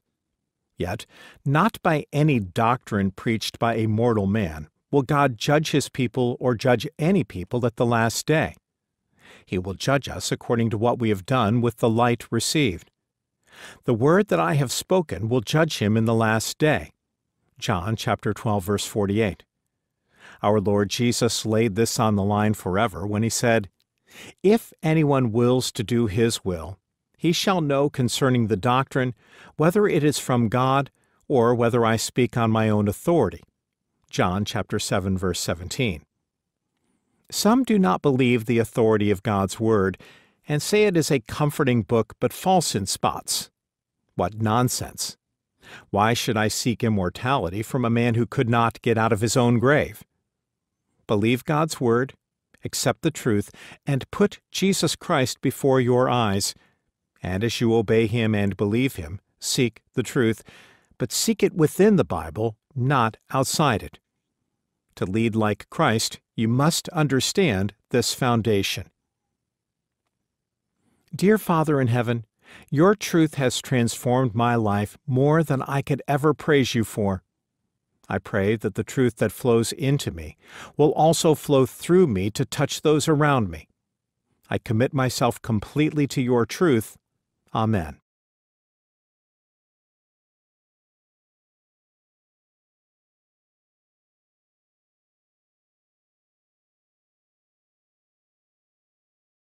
Chapter 11 Lead like Christ Maintaining a tight grip on the Word. Holding fast the faithful Word as he has been taught, that he may be able, by sound doctrine, both to exhort and convict those who contradict. For there are many insubordinate, both idle talkers and deceivers, especially those of the circumcision. Titus chapter 1 verses 9 through 10. To lead like Christ, we will need to deal with hard things. It is not easy to be involved in spiritual leadership, which is why Paul warned that a novice, a new convert, should not be an overseer in the church, lest, being puffed up with pride, he fall into the same condemnation as the devil. 1 Timothy chapter 3 verse 6. A novice wouldn't be able to handle many of the situations that arise for leaders. It is essential to deal with issues that compromise biblical leadership. Too many people are willing to compromise to get along. This is not something Jesus did, and it certainly is not something the Apostle Paul did. We need sound doctrine and a tight grip on the Word of God. This does not mean knowing all of the stories in the Bible. We need to know what the Bible teaches and how it affects our lives today. We need to address hard things because, as Paul wrote in Titus chapter 1 verse 10, there are many insubordinate. In the King James it reads, there are many unruly. Honestly, I am sorry I have to deal with this, because I'd much rather talk about the happy side of things. Still, we live in a world of sin and the devil, where the church is like a flock of sheep in the wilderness, surrounded by wolves. Wouldn't it be an ideal world if there were no unruly persons? No idle or vain talkers or deceivers anywhere. A place where the truth just grows without cultivation, with no weeds to cut down or hard ground to break up with a hoe, where everybody smiles and receives the word and begins to obey it. Indeed, it would be a comfortable, beautiful world. But you and I know that it's not that way. Maturity requires that we deal with things as they are, not as we wish they were. I honestly think well meaning people try to make Christianity weak and watered down. They look at the world with one eye only the good eye. They see the sunset, but never the storm. They hear birds sing, but never the vulture. They see rose bushes, but their blind eye will not look at the thorns. They hear happy laughter, but not the moan, they see the joyous Christian, but will not acknowledge the presence of the insubordinate, the idle talker, the deceiver. That is spiritual immaturity. If I were in severe trouble and needed prayer, I wouldn't send for a man who had the reputation of never facing reality. I wouldn't want to send for too happy of a man, because in a world like this, if you are too happy, you are probably spiritually immature. The immature man sees only the happy things and doesn't see or face the other side. Paul was a mature man who saw both sides. From prison he wrote, Rejoice in the Lord always. Again I will say rejoice. Philippians chapter 4 verse 4. But Paul also described himself and other ministry workers as sorrowful yet always rejoicing. 2 Corinthians chapter 6 verse 10. I would want to pray with me the man whose heart was buoyed by the inward lift of God's life, but whose heart was also heavy with the world's grease. That is a mature Christian. The insubordinate and idle talkers. According to Donald Spence, the famous Bible expositor and Dean of Gloucester in the late 19th century, the unruly person has these four counts against him he refuses all obedience, acts for himself, is fatuous, silly, and pointless, and is insubordinate. The defiant man imagines he's strong, but he's not. He's just carnal. And he will allow himself to go on in that way defiant, headstrong, and self willed, which hurts only himself. Scripture says that even Michael the archangel, when disputing with the devil about Moses' body, didn't dare say, I defy you. Instead, he said, The Lord rebuke you. Jude chapter 1 verse 9. The insubordinate also scorns the spirit of the flock, of which we are members. He refuses the shepherd's voice and the under shepherds, and boldly states his personal opinion against the pastor and all the godly Christians in the church. It was this state of heart that kept ancient Israel in constant turmoil. They were always backsliding. Tearfully bruised and beaten, they would repent, be restored, and then get defiant and headstrong and go down again. The whole history of Israel was like that. It's a tragic thing that even when the Messiah came, they defied him. They said, We won't have this man to rule over us. The insubordinate are restless and uneasy spirits who quote Scripture for their purpose. They're empty talkers whose mouths must be stopped, Paul wrote. Titus chapter 1 verse 11. Now, some might ask, why not let them be? Those who believe in the letting alone process point to the parable of the wheat and the tares and say, let both grow together until the harvest. Matthew chapter 13 verse 30. They want to overlook the weeds and let everything grow together. But Jesus never taught, let the weeds grow in the church. In Luke chapter 10 verse 3, he said, I send you out as lambs among wolves. Thus, sheep and wolves can live together in the world, but not in the sheepfold. See the difference there? The two must not live together in the church. Why? Because the unruly subvert whole houses. The word subvert means to overthrow by undermining morals and destroying allegiance or faith. That is why Paul says unruly, vain talkers must be silenced. Christ's house. In the days of Paul, believers had not yet begun to build church houses. They met in synagogues, people's homes, upper rooms, wherever they could be together. In Acts chapter 12, after James was slain with the sword, Herod took Peter intending to slay him too. But Scripture says prayer was made continually unto God for Peter, and God sent an angel and turned Peter loose. Where do you suppose he lit out for? To find the church, of course. He knew that they were meeting and praying for him in the house of Mark's mother, Mary. That was a church meeting in a house, which is why Paul said to the saints, Greet the brethren and Nymphas and the church that is in his house. Colossians chapter 4 verse 15. Paul also talked about preaching the gospel from house to house, or, as we might say, from church to church. So the word house meant the church. There are Christians now who, if we point out a church, say in shock, Don't you realize that the church is the body of Christ and that building is just a building? Sure, we know that, which is why we should never let words become our master. When I say the Third Presbyterian Church or First Baptist Church, everybody knows I don't mean the building, I'm referring to the people. Take these examples, starting with the expression, a motion was made from the floor. What is meant by that? Does it mean the people standing on the floor or sitting on chairs made the motion? It certainly doesn't mean the floor made the motion. When we say there will be a board meeting, we don't mean four pine boards will meet in the pastor's study. Originally, a group of leaders did sit around a board, so the word extended from the actual board where they met to mean the people around that board. A similar example is the House of Representatives. When someone reports that the House has not yet passed a bill, it doesn't mean the building there in Washington, D.C. It refers to the several hundred elected officials who sit in that House. Let us not get enslaved to words.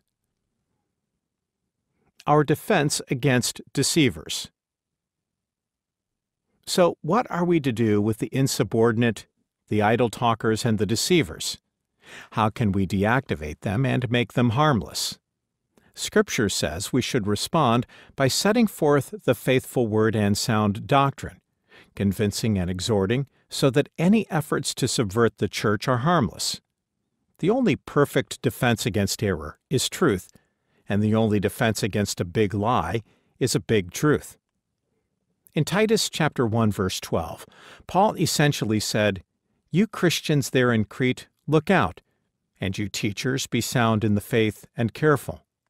Hold the faithful word because remember, Cretans are always liars." Paul indicted a whole group. You might wonder if a sweeping generalization like this was possible. Remember, great cities have gone completely rotten. Look at Sodom and Gomorrah. They had gotten so rotten, only half a dozen people got out. But is it possible a whole population can be corrupted? Look at the flood. The world had become so morally corrupt that the only thing God could do was to drown them all except eight people he picked out who had yet a bit of decency left in them. When I was a kid, we didn't have refrigeration, so we had to do what we could to keep our fruit good. Sometimes a box of apples would rot so completely that you could stick your hand into the mush all the way to your elbow. I didn't mind this, so I used to reach in and feel around. If I found a hard apple, I would take it out and wash it off.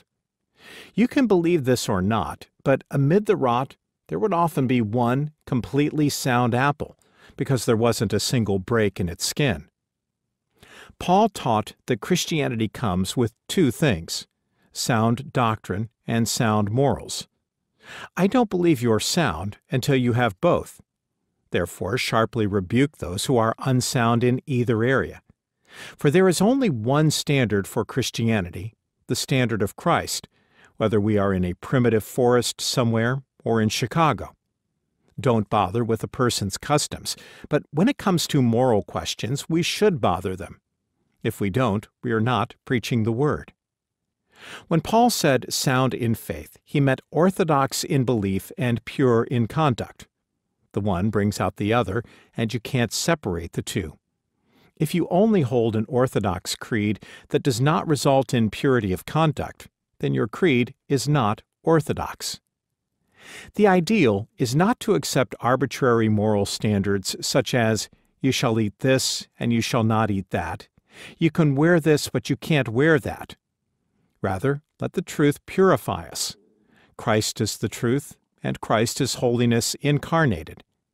We are under obligation to be disciples of His in belief and in practice, and to worship in spirit and in truth. Yes, even in the middle of a rotten city like Chicago, God can feel around and find some apples that are shiny and red cheeked and sound, kept that way by God's wonderful power. And all the time we're in that same barrel, the power of God can keep us through faith by salvation, ready to be revealed at the last time so that we never even smell the world around us. How wonderful! Within the Church of Christ, there should be no rot. Christ Church should be a place where every apple is sound and every Christian is pure.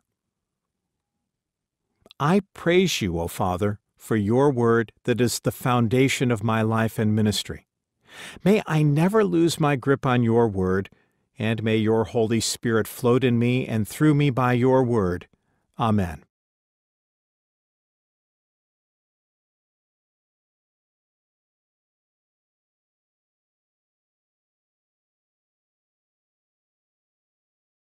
Chapter 12 Lead like Christ A Commitment to Sound Doctrine. But as for you, speak the things which are proper for sound doctrine Titus chapter 2 verse 1. This verse represents the practical side of leading like Christ. To be faithful to our calling, we do not have the option to waver in our doctrine. The culture may not like the doctrine, and it may not fit into their lifestyle, but the culture is not our Bible to the Apostle Paul, salvation in Jesus Christ carried with it sound beliefs and practices in harmony with those beliefs. Paul knew nothing else but that. His theology had two sides to it right beliefs and right living. One side could be considered the foundation, the other the building. Another way to think about it is that a tree's root is our theology, what we believe about God in Christ, and the tree and its fruit is our morality and right living. So, we have theology and morality, right belief and right living all bound together. Strange that we have forgotten these days that they cannot be taken apart. If you even mention it, some will call you a legalist. But I do not mind names, so we will go on and teach what Paul taught. The evangelical church has fallen on hard times, and thousands of people who were once true believers are turning away from the word itself. How completely foolish to separate the root from the tree or the tree from the root. Would you consider what value a root has buried deep in the earth if it has no tree and no fruit on the tree? Would you consider how vain it would be to have a tree without a root? Just as you cannot have a tree without a root, you cannot have a root without a tree, the two go together. Think about how foolish it is to lay a foundation, digging down with a bulldozer, getting rid of all the dirt down there, shoveling it away, then laying the footings in and building the foundation up, but letting it lie there with no building upon it. What good does it do? What good is theology unless it eventuates in right living? What good is the right doctrine unless it means morality, sound truth, and sound living?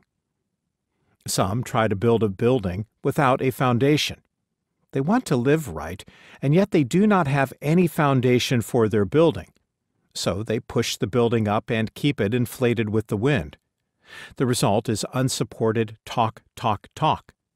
We, on the other hand, tend to lay foundations everywhere and not have any buildings. But Paul, in this passage, essentially says, Titus, see to it that you have both.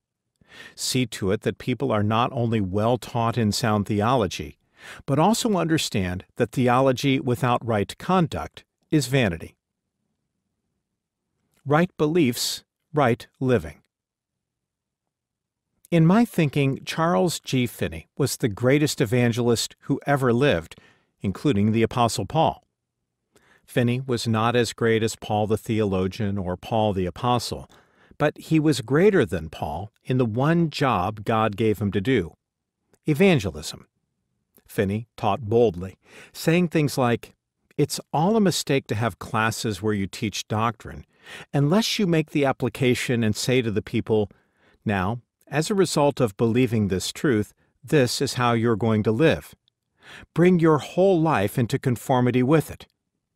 Right beliefs without right living have very little value. How are you going to have right living if you do not have right beliefs?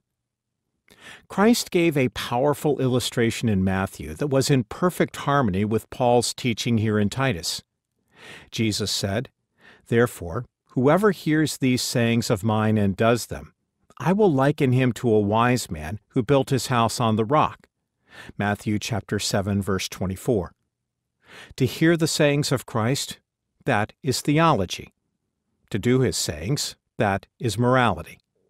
Put another way, to hear the sayings of Christ, that is the foundation, and to do them, that is the building. Or to hear and do the sayings of Christ, that is the roots and the tree. Our Lord never separated the two, he expected and meant the two to go together. If every preacher for three months insisted that everybody obey what was preached from the Word, I believe we would have some revival in our land, some reformation that would last. When you build a building in good weather, you build it knowing that the good weather will not last. When you build in July, you understand that there is a September into February. You build it with a breath of air and the sun shining calmly on the meadows, with the knowledge that the time will come when the wind blows at 50 miles an hour and the rain comes down in drenching torrents. The Lord taught us about a man who built his house on a rock. When rain and floods descended, when winds blew and beat upon the house, the house stood. It did not fall, for it was founded on the rock, Jesus said.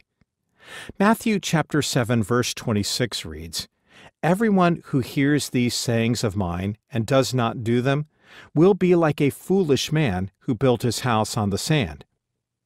This is all very practical. When moral wisdom builds a house, it digs down to the rock and lays a heavy, good foundation. Moral foolishness builds on sand, and when rain and floods and wind come, which is to be expected, the house falls. This house built on sand was as carefully built as the other one, except the foundation was neglected. The man had some sort of theology, but it was not supported by the light. There must be practical soundness in the hearing and the doing. Paul taught, Speak the things which are proper for sound doctrine. Titus chapter 2 verse 1. So, what should we speak about? I imagine people asking Paul. Should we teach belief in the Trinity? Yes, Paul might have replied, but I'm not going to talk about that. Belief in the deity of Jesus. Yes, but I'm not referring to that. Baptism by immersion. Of course, Paul might have said. You want us to teach about the second coming? That is not what I am talking about. So, what do you want us to teach? I want you to teach it all. But what I am especially asking you to bear down on here in Crete are the things that benefit sound doctrine. Paul's lesson for today is that we ought to begin to live like Christians. If we do, our prayers will immediately take on a new power, and our testimony will take on a new sharp edge. Our joy will immediately begin to spring up like wells in the desert, and I believe we can make an impression on humankind. Some Orthodox brethren have begun to believe over the last years that if we can get some good polemic writers, that is, argumentative writers, who know how to argue with others, and get some good books arguing for the faith, we can cure liberalism.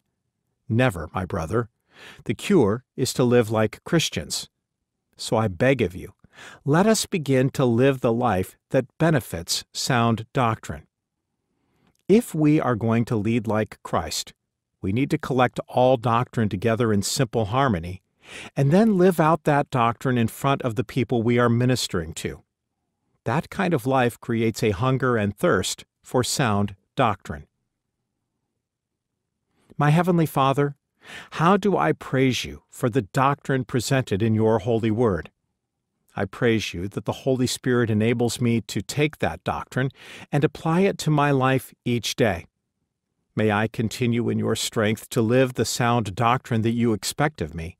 In Jesus' name, Amen.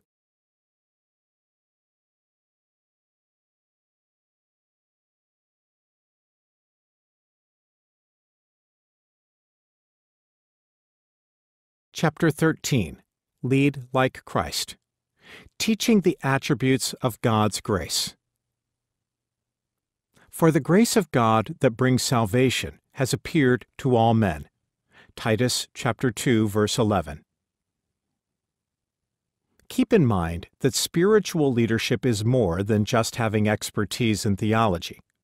Theology is important to know and something I recommend because it involves the study of God. But Christ like leadership rises above human knowledge and depends on the work of the Holy Spirit.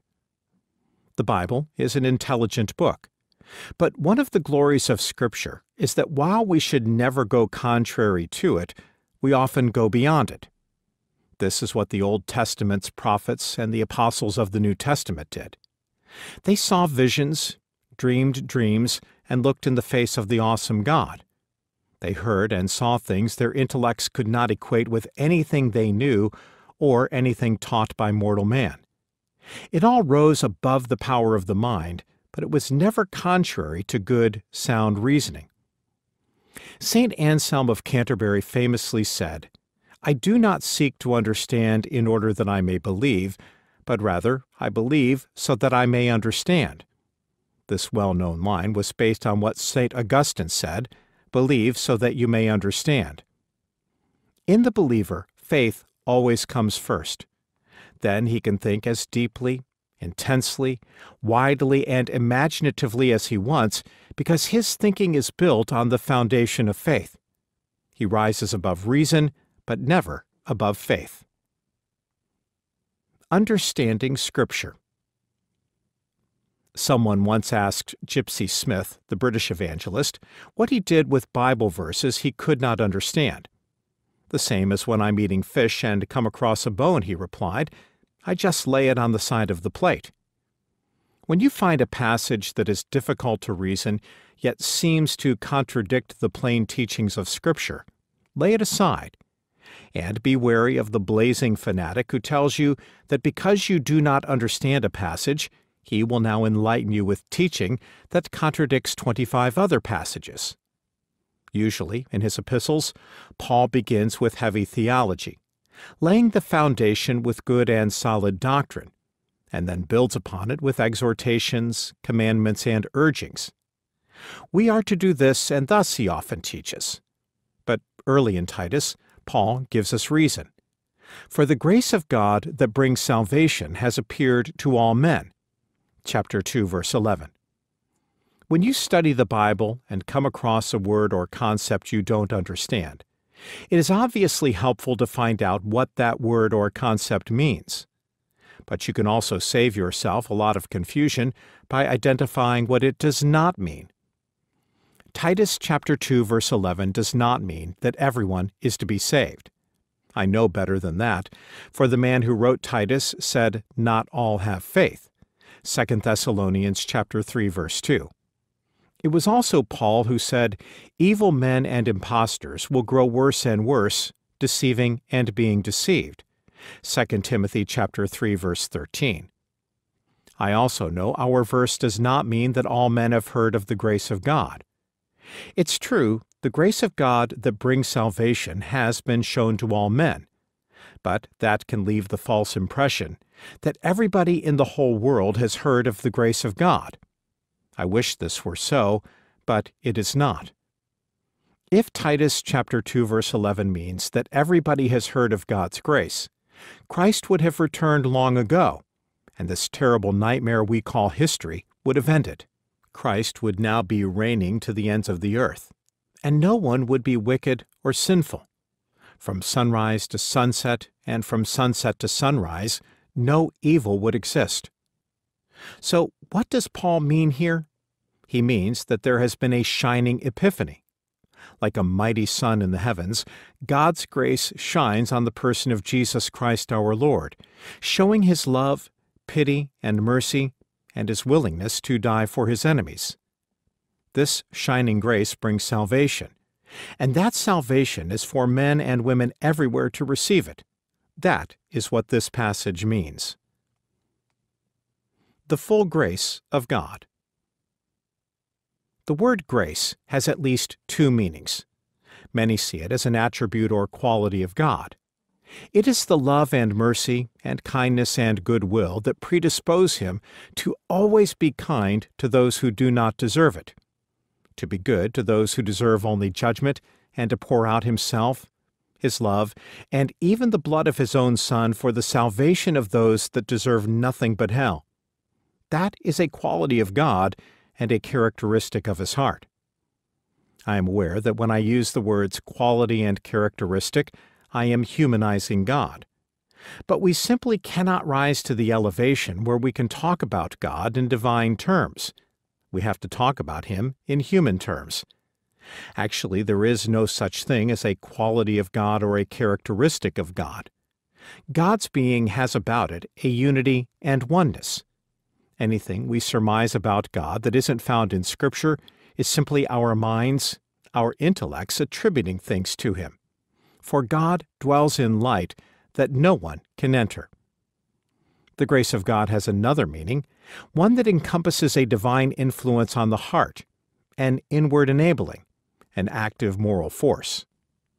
The apostle Paul in 2 Corinthians chapter 12 wrote that he had been praying to be delivered from a thorn in his flesh that caused him great distress.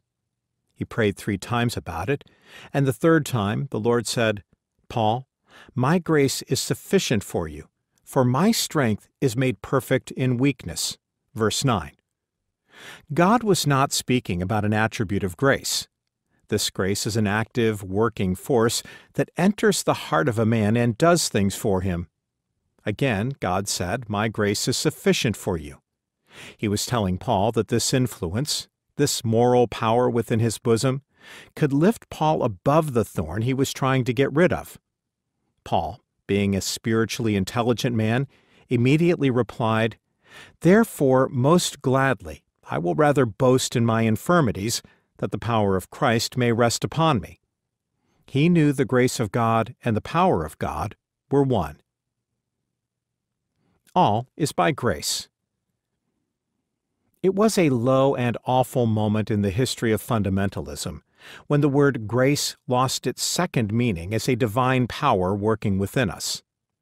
The grace of God, for most people, is seen as an attribute in God. But in Titus chapter 2 verses 11 through 12, Paul teaches that grace changes us. God's grace has appeared, teaching us that denying ungodliness and worldly lusts, we should live soberly, righteously, and godly in the present age.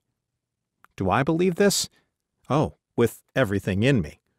Nobody can sing with a worse voice and a happier heart, Amazing grace, how sweet the sound that saved a wretch like me. Everything God has done since the beginning of time is out of grace. Nothing is by law, it all is by grace. The psalmist used to pray, Hear me when I call, O God of my righteousness. You have relieved me in my distress. Have mercy on me and hear my prayer. Psalm 4, verse 1. He knew God's willingness to hear prayer was God's grace in operation. The very stars and sun overhead are the grace of God in operation. Nobody deserves anything from God. He owes nobody anything, yet gives everybody everything, and therefore we owe him every gratitude in all the world. All is by grace. God made the heavens and the earth by grace. When he laid the foundations thereof, it was by grace. When he gratified the earth with the firmament, it was by grace. When he made man upon the earth and blew into his nostrils the breath of life, it was by grace. Everything God has ever done has been out of the goodness of his heart. If the grace of God was only an attribute within God, it could never get to you and me. No, the grace of God is more than that. The grace of God enters human hearts, and I even believe the very angels in heaven are motivated by God's love and grace in their hearts, although they will never understand it quite like you and I will. Let us not be satisfied to keep all of God's qualities in God. Yes, there are attributes of God that no person can share. For instance, his self sufficiency, his infinitude, and his incomprehensibility. These attributes belong to God, and God cannot share them with creatures. But there are other attributes that God can share with creatures, including kindness, love, mercy, grace, goodness, and wisdom. If you believe grace saves you, but there is not a corresponding working within your heart toward holiness and righteousness, I have to tell you honestly, you probably are deceived. For the grace of God is received when a person declares, I accept salvation by the grace of God through Jesus Christ. God smiles at this and then goes to work inside that person to produce the very graces that the New Testament is chock full of. Grace unto good works saves us. The same grace by which we are saved now becomes an active force working within us to make us pure, good, and righteous. May God grant that we will not miss this. Let us trust Him to save us in grace, and that grace will operate through us to make us the kind of Christians that will adorn the doctrine of Jesus Christ. May our dedication to Christian service and ministry motivate us to get the whole truth out to the people we are ministering to. It is the whole truth of grace that enables us to be everything God wants us to be. O Lord Jesus Christ, how I praise you for the grace that you have provided for me. I have accepted it, and I allow it to work in my life to your honor and glory. Let me not be confused by what I don't know, but let me rejoice in what I do know by your grace. Amen.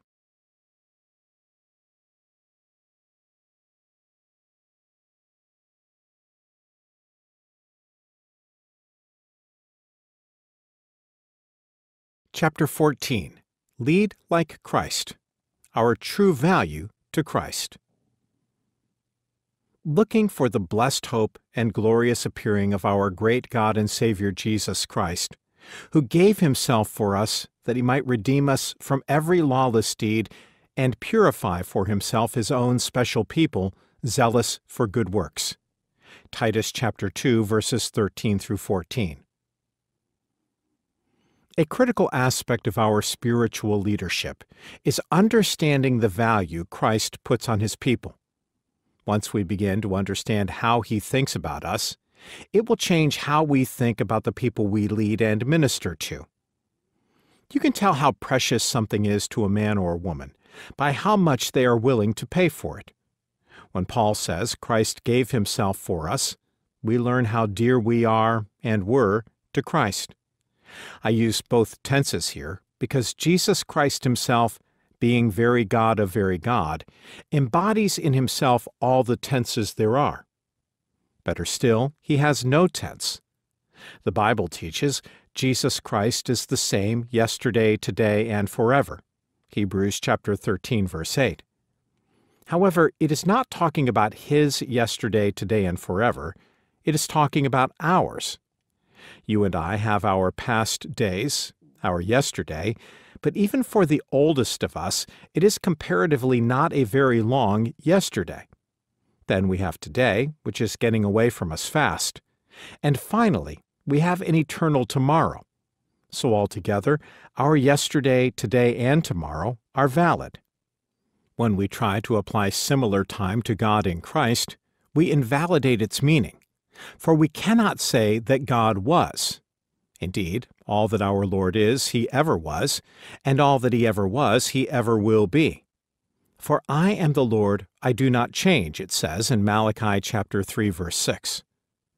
So when we say how precious we were to Jesus, we mean how precious we are to Jesus. And when we say how precious we are to Jesus, we mean how precious we will always be to Jesus. The price Christ paid. All through the Bible, in both the Old and New Testaments, redemption is found. Redemption involves pain, the giving of value for value, paying a price for something precious. Our Christ Jesus paid a deep price that we might be redeemed.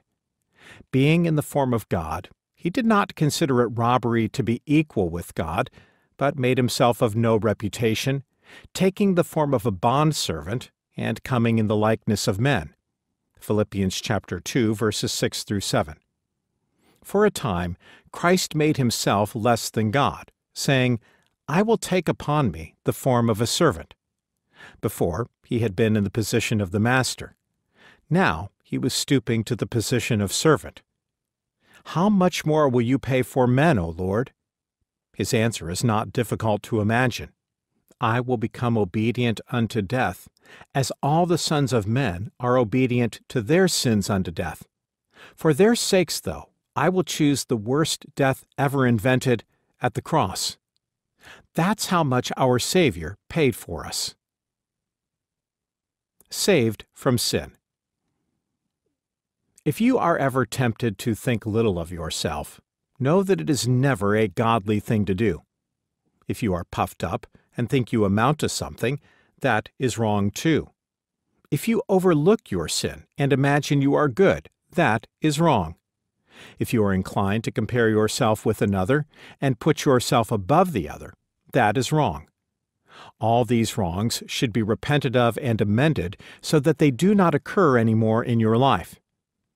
Why did Christ give himself? The answer comes in the next phrase of our passage. To redeem us from every lawless deed. Titus chapter 2 verse 14. In the King James it reads, to redeem us from all iniquity. Iniquity was our problem. We were caught in the messes of iniquity, and he gave himself to redeem us from all iniquity. Notice the preposition in this phrase, not in, but from. Christ shall save his people from their sins. Let me repeat. Any interpretation of New Testament Christianity that allows sin in human life is a false interpretation. Any interpretation of mercy or grace or justification by faith that allows any kind of sin, external or internal, to live unrebuked, unforsaken, unrepented of is a travesty of the gospel of Christ and not the true gospel at all. He gave himself, and the price was himself, that he might redeem us unto purity and unto himself. The one deep disease of the world is impurity. By impurity, I mean anything that is unlike God. Sexual misconduct is an impurity, but contentiousness is another. To some people, when you say, It's a nice morning, isn't it? they will respond, No, I don't think it is, and start an argument. If you compliment them, they will start an argument. No matter what you say, they are contentious. They live in this world by the mercy of people who are not contentious. They imagine themselves wonderful when they are merely recipients of an almost infinite amount of patience on the part of people who would like to tramp on them but do not. These contentious people are impure. Other impurities include gluttony and slothfulness. Self indulgence is another form of impurity. Pride is another form. Egoism is another form, as are self pity, resentfulness, and churlishness. I have only named a few examples, but all that is not of God is impure. You might be able to quote long passages of Scripture, but if the fire of the Holy Ghost and the Lamb's blood have not purified you, you are most miserable and will be rejected from the presence of the Lord. It will not be because of your beliefs so much as the state of your heart, though beliefs certainly need purification the need for purification. Paul says in verse 14 of our scripture passage that God purifies for himself his own special people. The King James uses the phrase peculiar people. That word, peculiar, has gotten into the enemy's hands and has been used to cloak some bizarre goings on in the Christian church. However, the biblical meaning of the word has no connection to the strange, irrational, ridiculous, or foolish. Jesus Christ is the perfect example of this. He walked among men with utmost rationality. Everything he did was as logical and clear and sane as the sunshine on the grass of a June morning. Jesus, our Lord, was the perfect example of a mind that is poised, balanced, and symmetrical, and in perfect adjustment to itself. He never did or said anything, or left anything unsaid that would cause the raising of an eyebrow or the wondering if he might not be quite all there.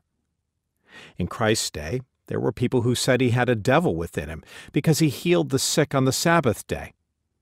The same thing was said by those who loved the law instead of man, who loved text in place of children, and those who would rather hurl the evil woman into hell than see her forgiven.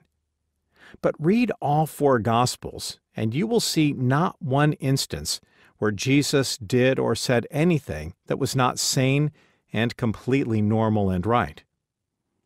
Those who do irrational, ridiculous things in the name of the Lord, and then flippantly say, I am a fool for Christ's sake, have themselves to blame.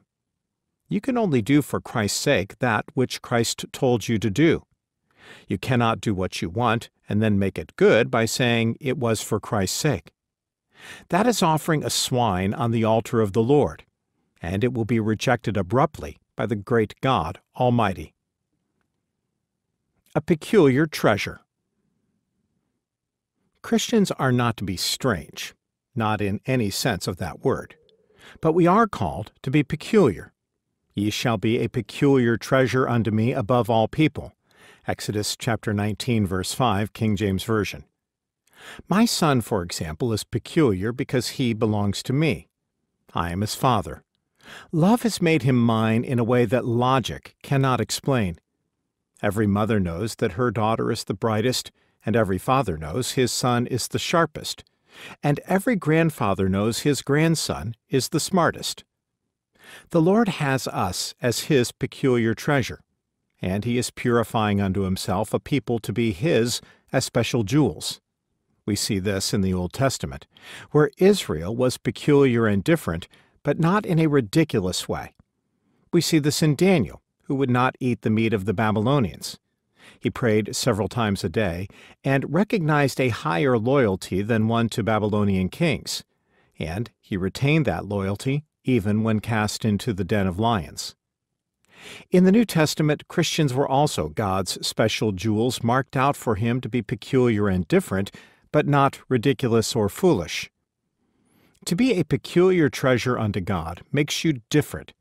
You have a higher loyalty, and you recognize God's right to tell you how to live. Human philosophies come and go. Religions come and go. Artificial revivals come and go. Healing campaigns come and go. New ideas come and go, scientific notions come and go. But all the time, good Christians have God in focus, living like Christ, doing God's will, and recognizing their loyalty ultimately belongs to Him. All this makes us different, but it does not make us foolish, it makes us right. God's peculiar people sing loudly and give generously. They are zealous of good works. They pray long and work hard. The Bible knows nothing of armchair or ivory tower Christianity. The Church can silence critics with good works and in no other way. Preach doctrine, and they will try to turn our doctrines against us. Quote Scripture, and they will question the translation. But no one can argue against godliness and good works. The devil himself would not even try it. He knows better godliness and good works shut the mouths of everybody. Critics may take you out and hang you, but they will respect you while you die. So here we have another beautiful passage in Titus that cannot be worn out. Our Savior, Jesus Christ, gave himself in order to redeem us, a peculiar people, from all iniquity, and to purify us unto himself.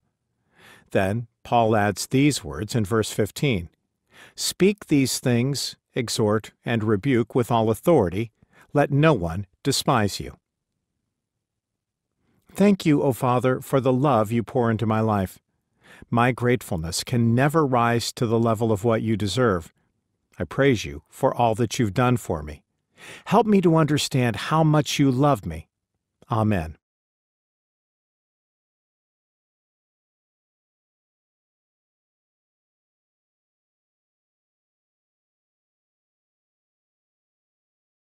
Chapter 15 Lead Like Christ The Fullness of Christian Leadership. Teaching us that, denying ungodliness and worldly lusts, we should live soberly, righteously, and godly in the present age. Titus chapter 2 verse 12. To lead like Christ demands that we understand entirely what it means to be a leader in the spiritual realm. This is not a job, but rather a commitment to Christ. And the path to this kind of leadership is absolute surrender and sacrifice to Jesus Christ. Too many people think that all it takes to be a spiritual leader is to study hard, pass a test, get credentials, and be on their way. That may be the American idea of ministry, but it is not the biblical one. If the grace of God has reached you, it is taught you by inward impulse. The first thing it teaches is denial. That is, it teaches us to disavow, renounce, repudiate. And there are two things mentioned in Titus chapter 2 verse 12 that are to be renounced: ungodliness and worldly lusts.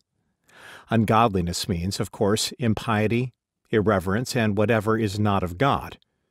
Whatever God is not in is ungodly. The dictates of grace teach us to deny whatever is ungodly, including what is accepted in many of our schools. We spend a lot of our time in the hands of pagans. We start in the preschool classes with finger painting, and we end up with a PhD from some university where the name of God is about as welcome as the name of Hitler would be in a Jewish synagogue. It takes a certain amount of backbone to deny what everybody else is affirming and to affirm what everybody else is denying. Anybody who thinks a Christian is a weakling has never been a Christian or spent much time around Christians. Any dead or dying fish can turn over on its back and float belly up in the stream. But a salmon will go over falls high as a church building For the Christian, God's grace and God's word unite to teach us that we are to deny ungodliness and renounce it for good. Today, celebrities have become the saints and prophets of our day, and some practice ungodly things. The fact that widely known people practice them does not in any way mitigate the ungodliness. It is still ungodly, and we are to deny ungodliness. Even ungodliness found in classical literature and art is to be denied by the Christian.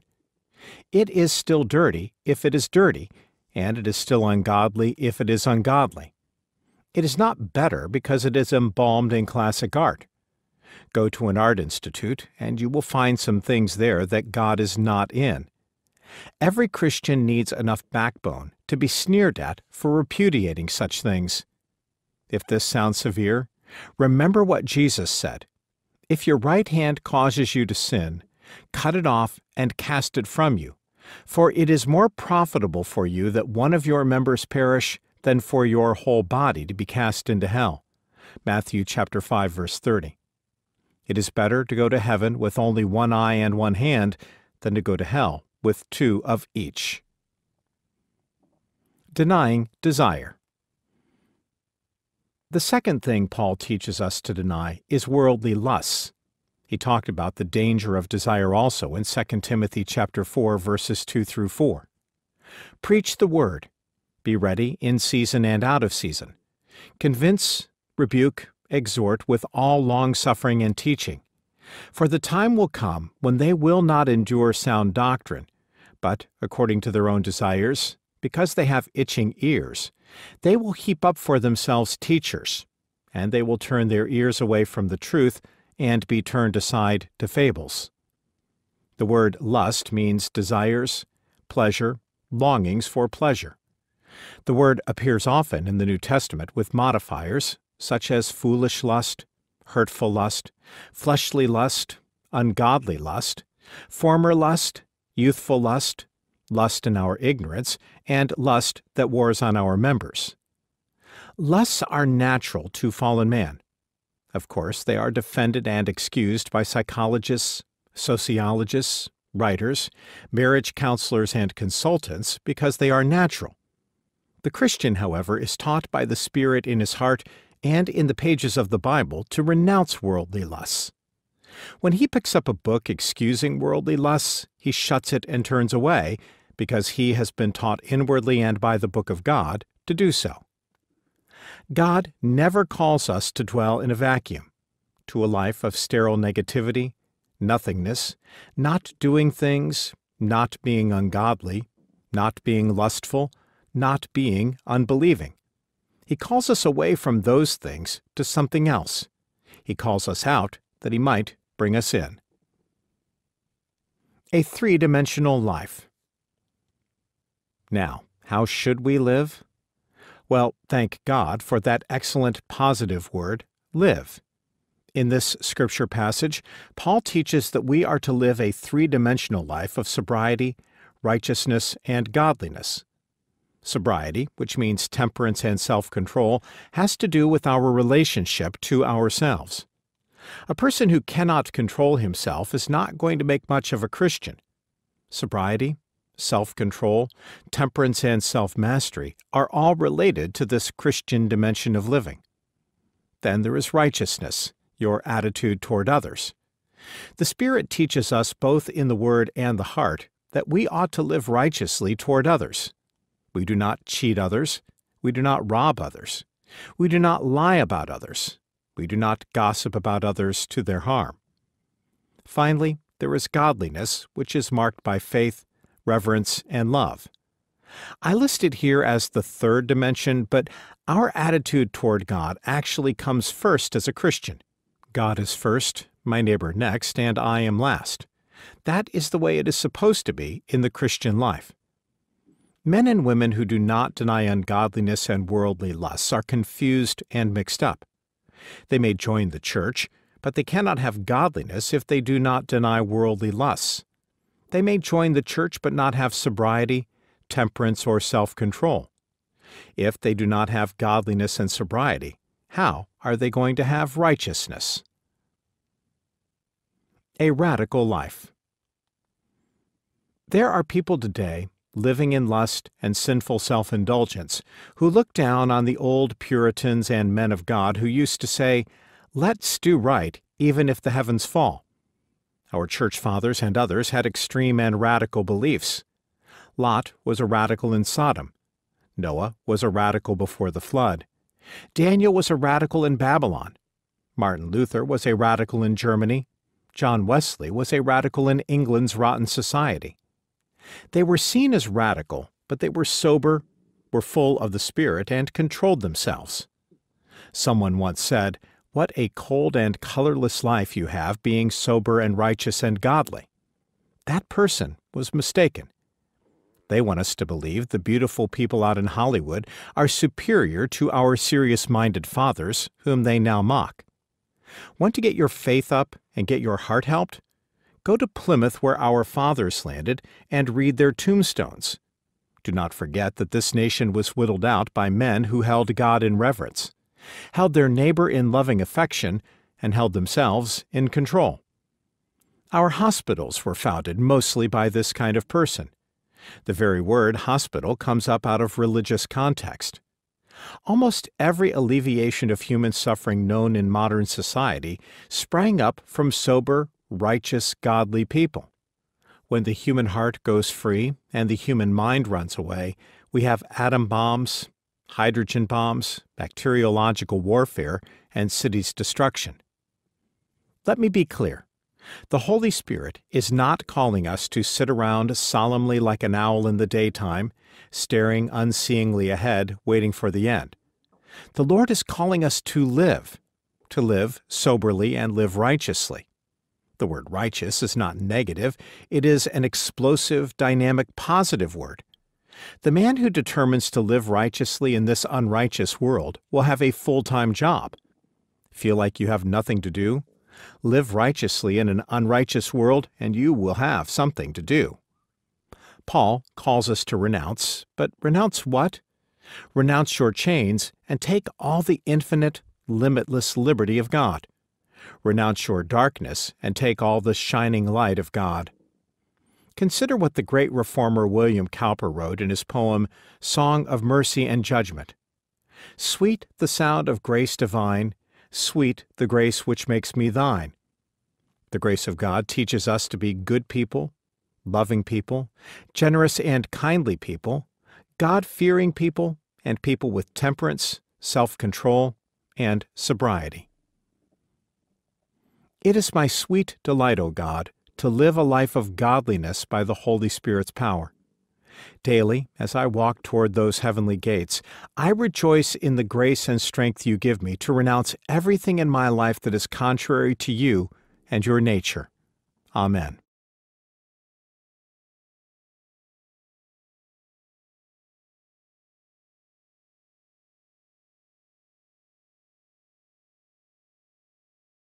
Chapter 16 Lead Like Christ How God Sees Us. For we ourselves were also once foolish, disobedient, deceived, serving various lusts and pleasures, living in malice and envy, hateful and hating one another. But when the kindness and the love of God our Savior toward man appeared, Titus chapter 3 verses 3 through 4. A significant aspect of Christ led leadership is to understand ourselves from God's point of view. The next step is to understand how God sees the people we minister to. If we can't get that dual perspective, we certainly will not lead like Christ. Too often, spiritual leaders see themselves and the people they are ministering to through the eyes of the culture in which they live, which seriously compromises the kind of leadership needed today. Informed by the Holy Spirit, Paul gives us a view of our state in this section of Scripture. Titus chapter 3 verse 3 is like plunging into ice cold water. For we ourselves were also once foolish, disobedient, deceived, serving various lusts and pleasures, living in malice and envy, hateful and hating one another. Titus chapter 3 verse 4 is like stepping into nice warm water but when the kindness and the love of God our Savior toward man appeared. We might not like verse 3, but if we do not have it, we cannot have verse 4. Few are humble enough to read Titus chapter 3 verse 3 and say, "That's me." A man might say, "That is my wife." A wife might say, "That is my husband." A child might say, That is my mother, for we always have someone else in mind when it comes to things like this. I tell you frankly, I also do not think verse 3 fits me by nature. But the nicest person must accept the verse as a reasonable facsimile of his or her photograph. Foolish, disobedient, deceived, enslaved to lust, pleasure mad, living in malice, envious and hateful. That is the description the Holy Ghost gives of us, and if we do not believe we are as bad as he says we are, we cannot believe that he is as good as he says he is. Then, in verse 4, comes a glorious little word with such a variety of meanings the simple word, but. But when the kindness and the love of God our Savior toward man appeared. Titus chapter 3 verse 4 but is one of the most powerful words in the entire Bible, because it often signals repentance, rescue, deliverance, or salvation. And in this passage, a thousand things come between verse 3 and God's rescuing power in verse 4. God's loving kindness. I'm not sure I know too much about the future life, since I know so little about this life so I am very cautious about describing heavenly scenes. I am also very cautious about quoting God unless I quote from the scriptures themselves. Still, imagine entering the celestial city and you see walking toward you a man you recognize because personality persists in the world to come. Do not think of yourself in heaven as a ghost or a zombie. You are going to be you, only glorified. You are going to be recognizable you will call to memory things that happened below, just like Jesus did after he came out of the grave and remembered what he had told them while still with them before his crucifixion. You remember the last time you saw the man now coming towards you, he was cross eyed drunk. There are little gaps in his history you do not know about, but you believed he had lived and died that way. You're here, you ask? Yes, I am, he says with a smile, before shaking your hand. But how did you get here? Last time I saw you, you couldn't even stand up. You were a hopeless alcoholic. Every warden and cop in the state of Illinois knew you. Now here you are. How do you account for this? With another smile, he answers, Yes, but after the kindness and love of God our Savior appeared toward me, something happened.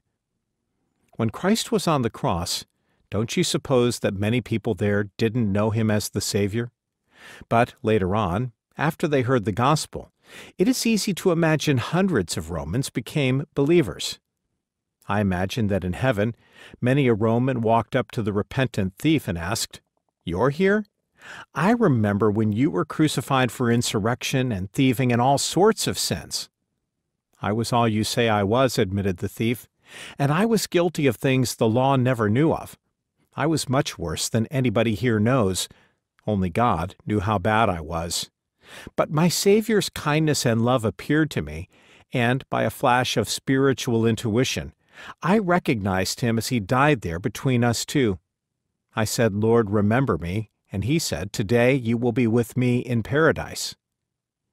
Some people will be in heaven we never thought would be.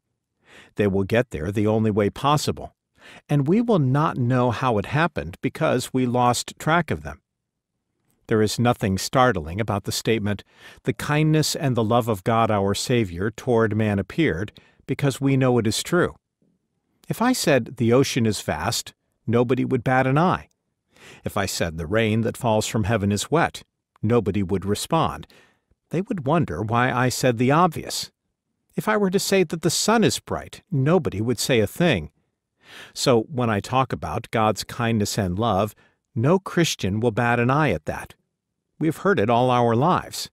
There's nothing to wonder at, because that is the kind of God He is. Incidentally, that is why unbelief is so wrong. It refuses to believe that God is the kind of God He is. When believers talk about the kindness and love of God our Savior, There is nothing to excite attention because we know God is kind and He is love. That is what we expect. You would expect a loving, tender mother to get up in the middle of the night and look after her baby. So when Mrs. Jones gets up at two in the morning and gives her baby a bottle, nobody will run to give her a medal. That is simply the way she is. We know the kindness and love of God, but the text here says, toward man. What kind of a man? Why do our Savior's kindness and love appear to a foolish man, a disobedient man, a deceived man, an enslaved man, a pleasure seeking man, a malicious man, an envious man, a hateful man? This is why the love of God suddenly turned aside and flowed in its fullness toward that thief on the cross. This is why we have so many great hymns, such as Amazing Grace. What is it that amazed the man? That God was gracious? No. The wonder lies in that the kind, gracious love of God should have for its object such a slavish, foolish, disobedient, deceived, lustful, malicious, envious, hateful person as I am. This is why hymn writers still have us singing about the wonderful love of God toward man. Why does God love us?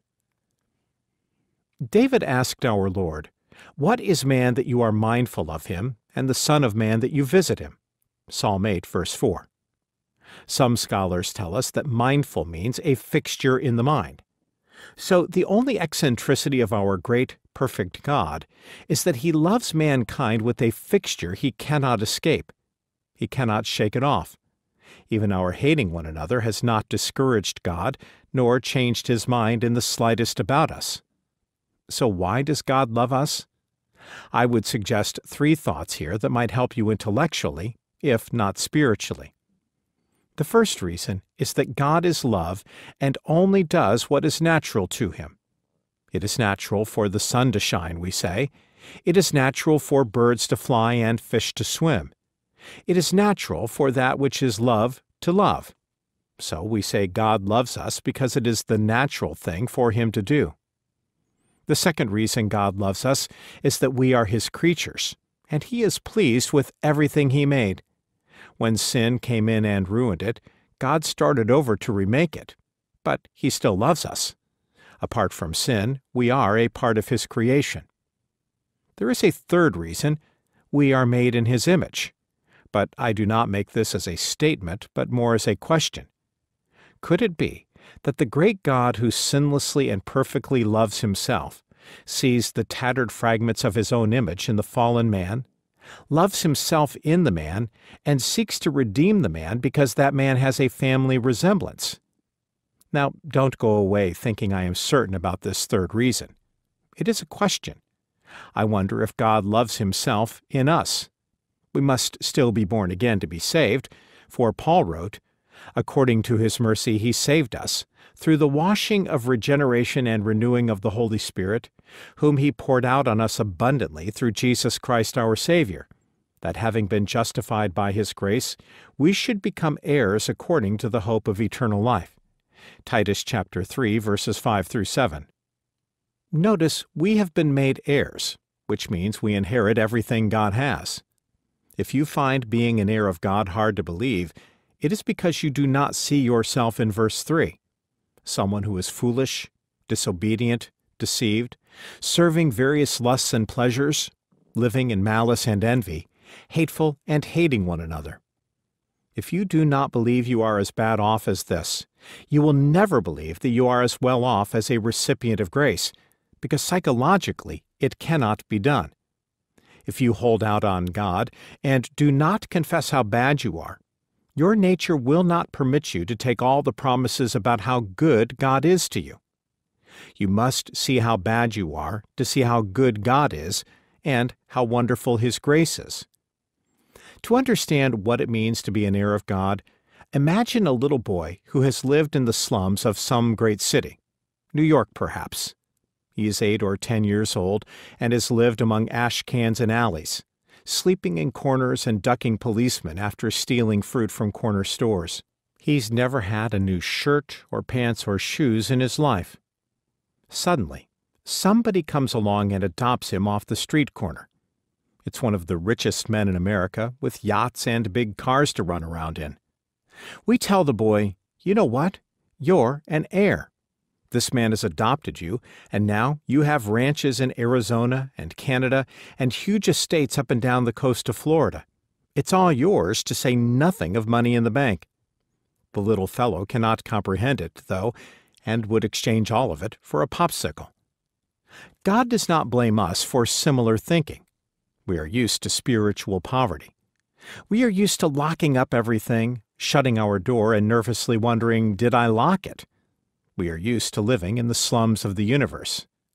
Then, suddenly, somebody throws cold water on us and says, You're an heir of God. We shake our heads and say, Well, I'm willing to believe it, but I haven't the faintest notion what you're talking about. Read your Bible, study it, pray, and keep learning to think the way God thinks. Maybe someday you will know a little bit. If you do not know it here, you will know it in heaven. We are heirs of God according to the promise of eternal life. The dynamic of my spiritual ministry is to understand how God sees me and how God sees the world around me. In my leadership, I transfer this passion for God's vision to the people I am ministering to. Dear Heavenly Father, I rejoice in you, although I do not understand all there is in you. I cannot comprehend that being who I am, you would love me. I do not understand it, but I accept your love and long for you to transform me into your image. Amen.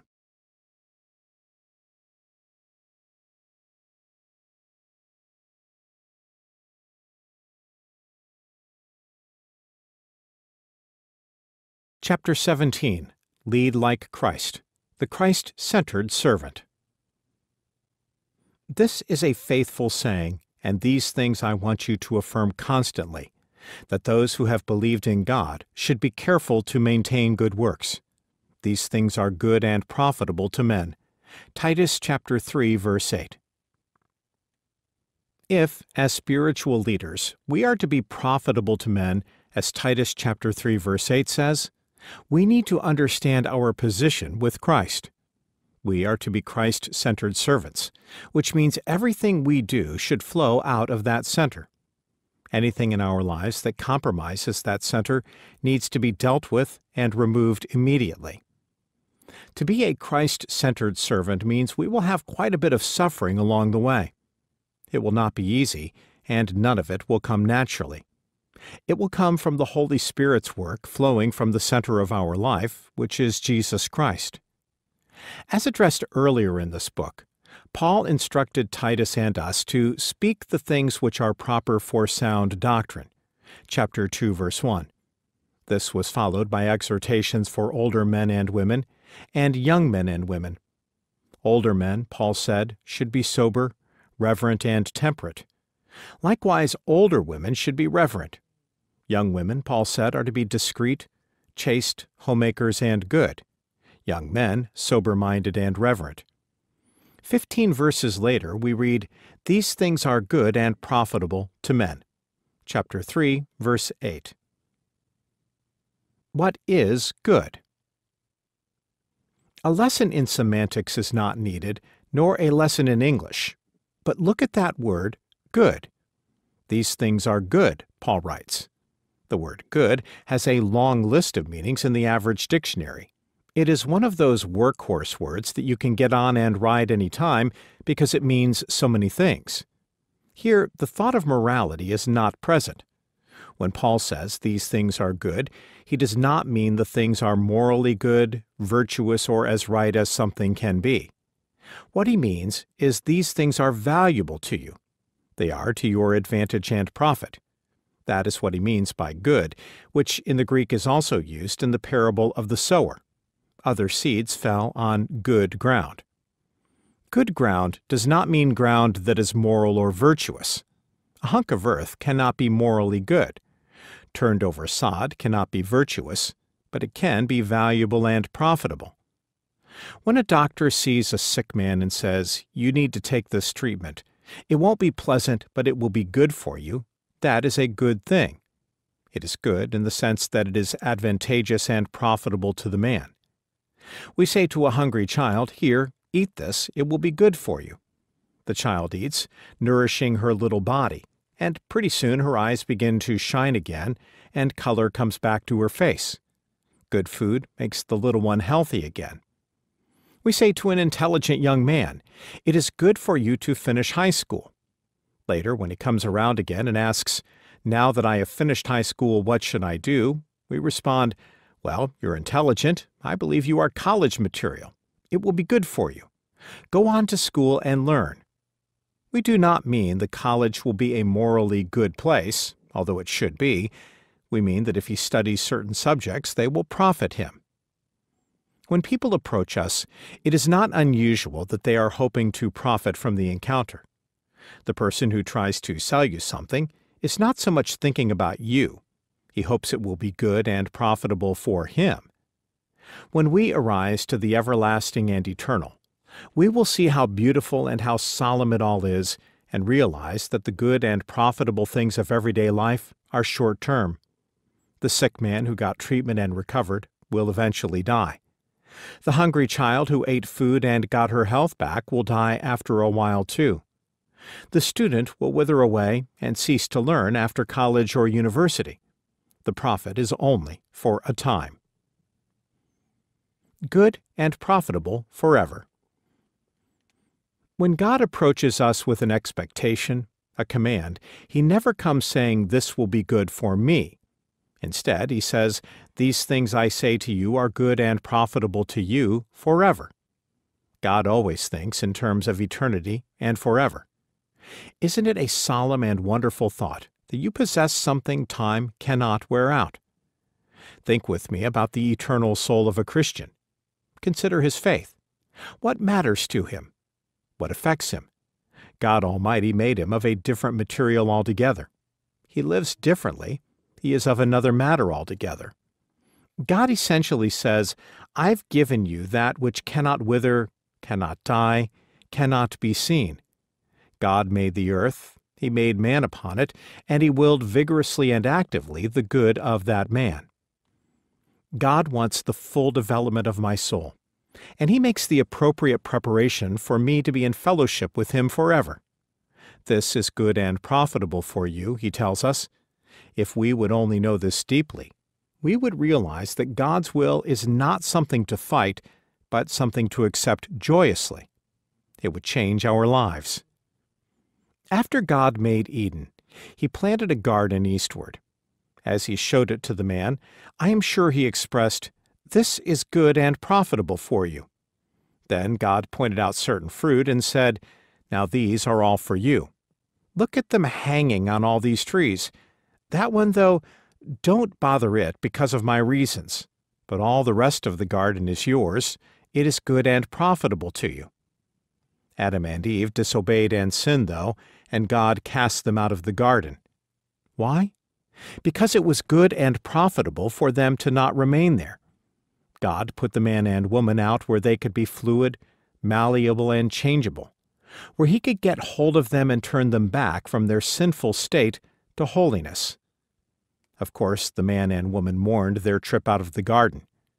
John Milton, in his epic poem Paradise Lost, portrayed them walking away from the gate of the garden, looking pensively over their shoulders at what had once been their happy home, and going into the world but it was good and profitable for them that they should.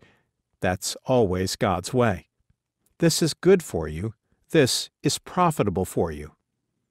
This was true all through the Scriptures.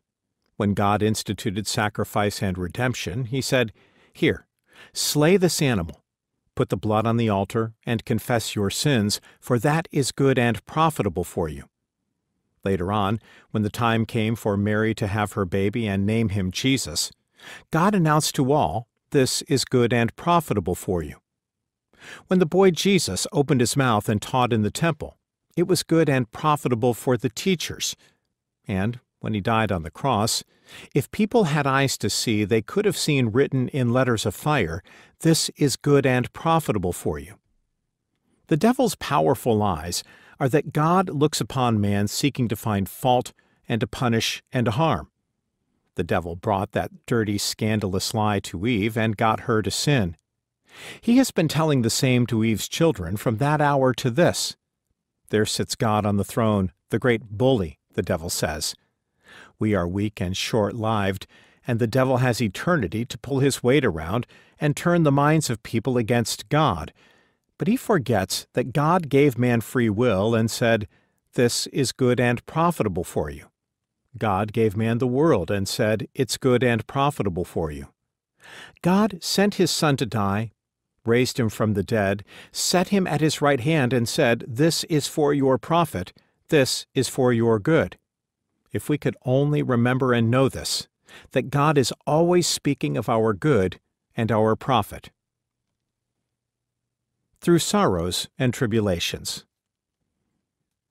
The Lord sometimes puts a little pressure on us. He allows sorrow and pain and loss and tribulation to come, but He wants us to know this is good for you, and I'm thinking of your profit. The modern notion that Christianity is one massive Sunday school picnic with a swim thrown in is all wrong. The Christian life is reasonably happy, and if you live close to God, it is a very happy life, but it is still a life shot through and through with sorrows and hardships and pains and tribulation. Know that sorrows and tribulation are not God's highest will, for there will not be any of them in heaven.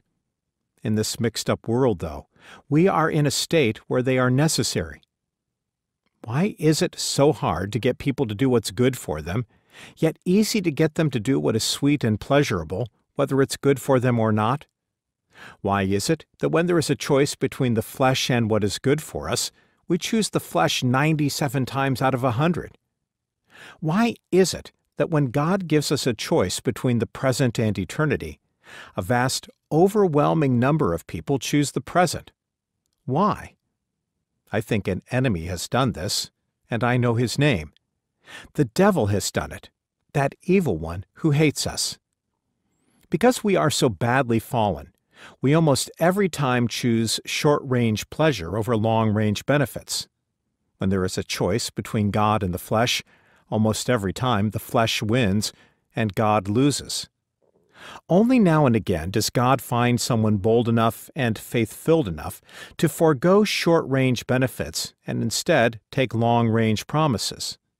Moses was one such person. He despised the court of Pharaoh in order to claim the long range promises of God.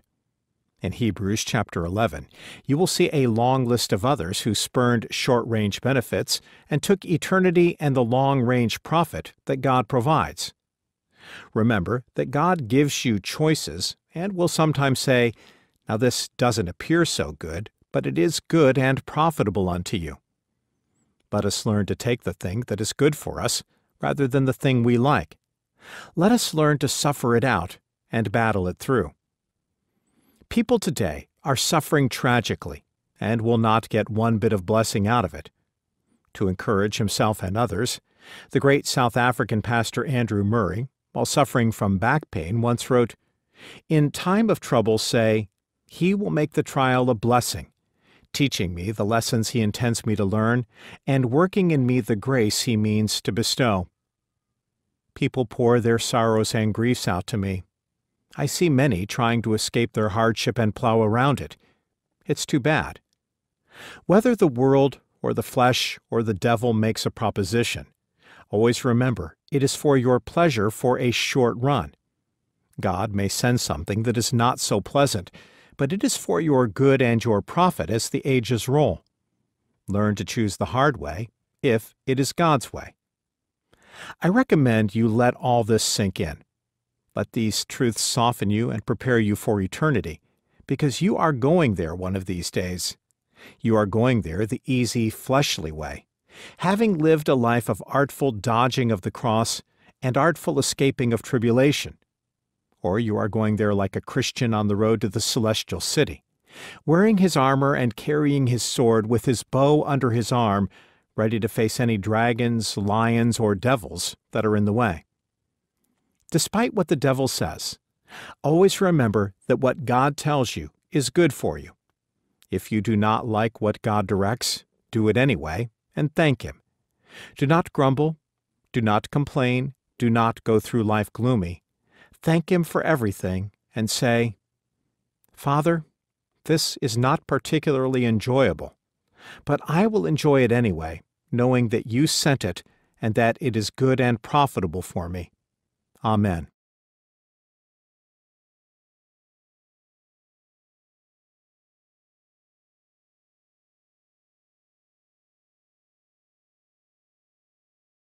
Chapter 18 Lead like Christ.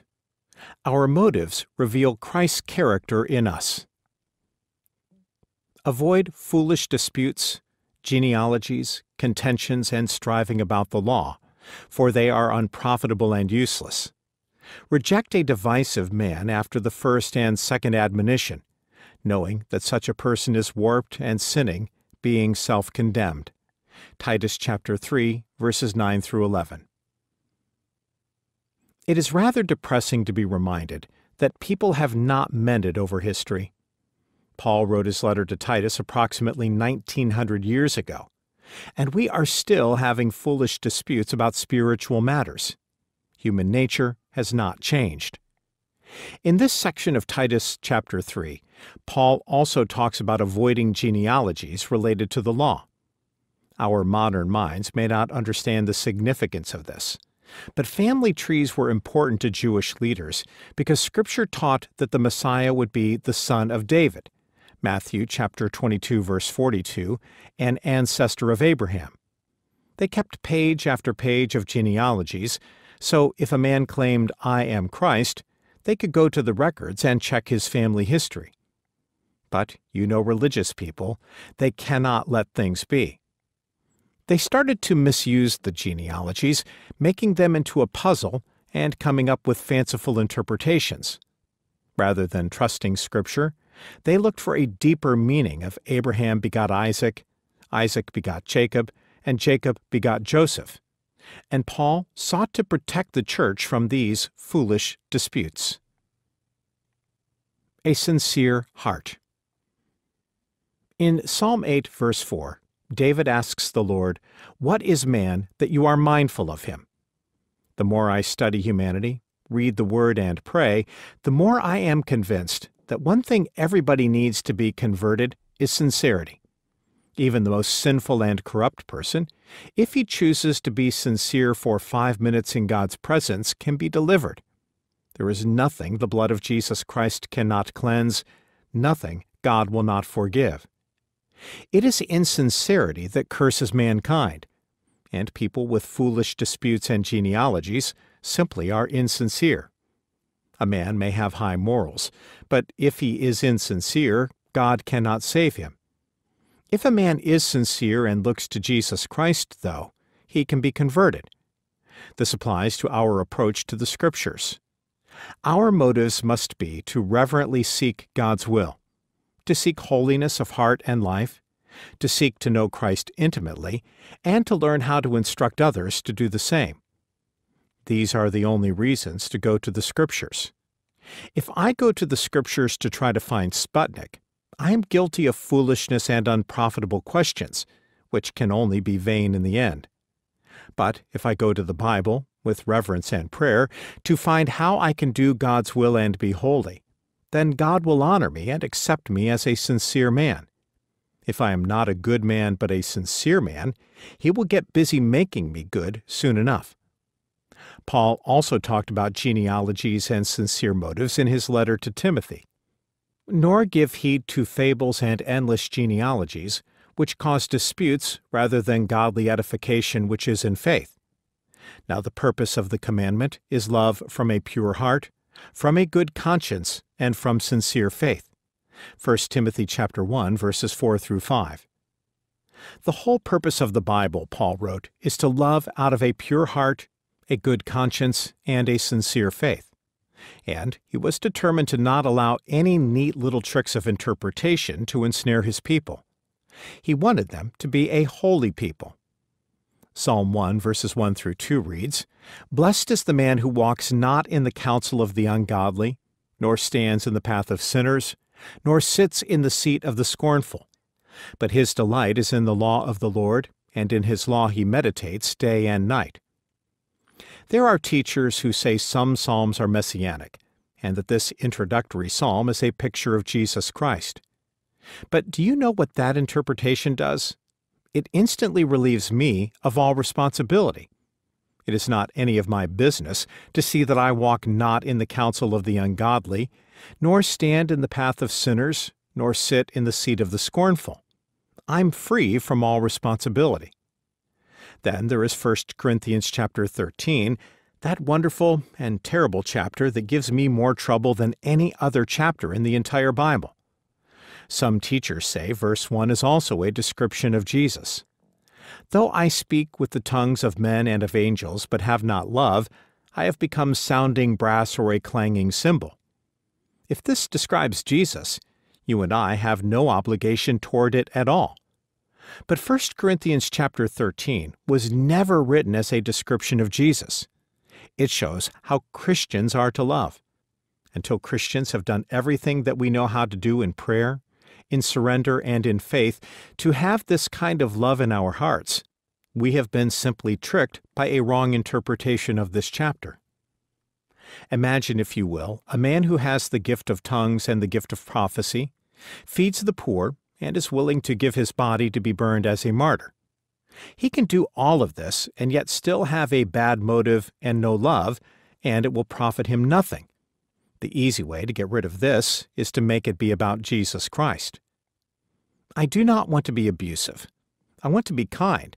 I preach this because I believe that these verses in Psalm 1 and 1 Corinthians chapter 13 are also for me. I am going to labor and pray that these passages describe me as well as describing Jesus Christ, our Lord. Dealing with others. Paul says in Titus chapter 3 verse 10, reject a divisive man after the first and second admonition. In the King James Bible, the man is described as a heretic. As understood in our day, a heretic is a false teacher. He does not teach the truth. By picking out certain things in Scripture, he builds and teaches a fabric of untruth. But that is not what heretic meant when Paul used it. In Greek, the word heretic means somebody who, for any reason, is resentful and offended, who has hurt feelings, who sometimes gathers a few malcontents around him and makes a little group of quiet rebels who don't go along with the crowd or with other Christians. People like this are not false teachers. They are dividers, troublemakers, injurious critics. The word reject here means to shun or avoid, and as the text says, it should not happen until after the first and second admonition. You don't immediately throw out a divisive man give him a quiet admonition, maybe a second one, and if he doesn't change his ways, then you avoid him. This is in harmony with the words of Jesus in Matthew chapter 18 verses 15 through 17, where he says that if someone sins against you but won't listen to your admonition, you should go to the person again with some others. Then take it to the church if necessary, and if the person still refuses to listen, let him be to you like a heathen and a tax collector. Titus chapter 3 verse 14 says, "And let our people also learn to maintain good works, to meet urgent needs, that they may not be unfruitful." Paul could not stand idleness or irresponsibility. He could not stand slothfulness or unfruitfulness. I imagine that when Paul saw a tree with no fruit on it, his heart ached. He wanted fruit on that tree. Likewise, when Paul came across a Christian who was just twiddling his thumbs, Paul would immediately sit down and write a firm epistle saying, Get up, get going, go to work. Let the Word of God get you moving. Do not simply sit in an ivory tower and be a Christian in your head. Get down to business and be useful. The Witness Within Us. In John Bunyan's classic book, The Pilgrim's Progress, hopeful, Christian, and other pilgrims need to cross a river. When old Christian almost sinks, Hopeful basically says, I found a sandbar, come on, and pulls him onto firmer ground. Pretty soon, they all get to the other side of the river where there is a great gate to the celestial city. After Christian and Hopeful are invited into the city, a self important cocky pilgrim named Ignorance, who had fallen behind the group, knocks at the gate and says, Open up, I'm here. Where's your certificate? Your credentials? asks an old man at the gate. What? I don't have any. All right then, you will go down. And with that, Bunyan closes his great book with these awful words Then I saw that there was a way to hell, even from the gate of heaven. Many people travel the Christian highway, but do not have in their heart the credentials of a true believer. They only think they do, and when this earthly life is over, they will find themselves going from the gate of heaven to hell.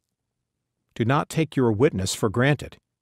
If within your heart there is sincerity, humility, and faith, God will build a wall around you and send his angels to guard you. But as soon as you start taking your faith for granted, look out. See to it that God has accepted you and that you have his witness within. Live with Paul's closing words to Titus in mind Grace be with you all. Amen. As I travel my journey, O God, I look to you for my motivation, and I trust you for my credentials to serve you until I enter into that celestial city. Amen.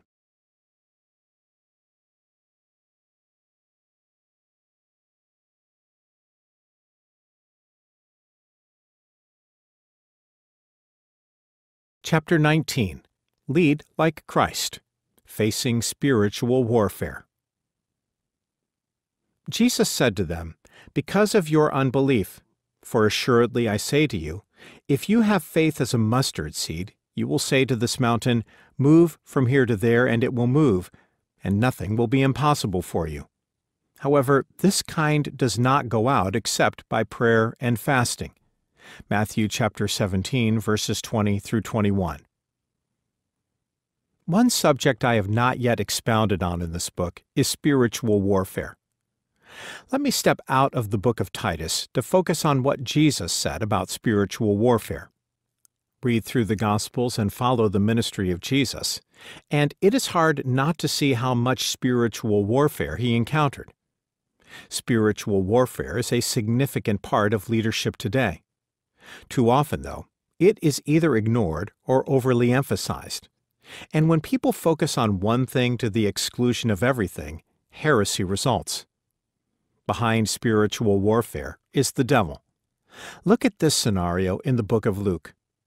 Then Jesus, being filled with the Holy Spirit, returned from the Jordan and was led by the Spirit into the wilderness, being tempted for forty days by the devil. And in those days he ate nothing, and afterward, when they had ended, he was hungry.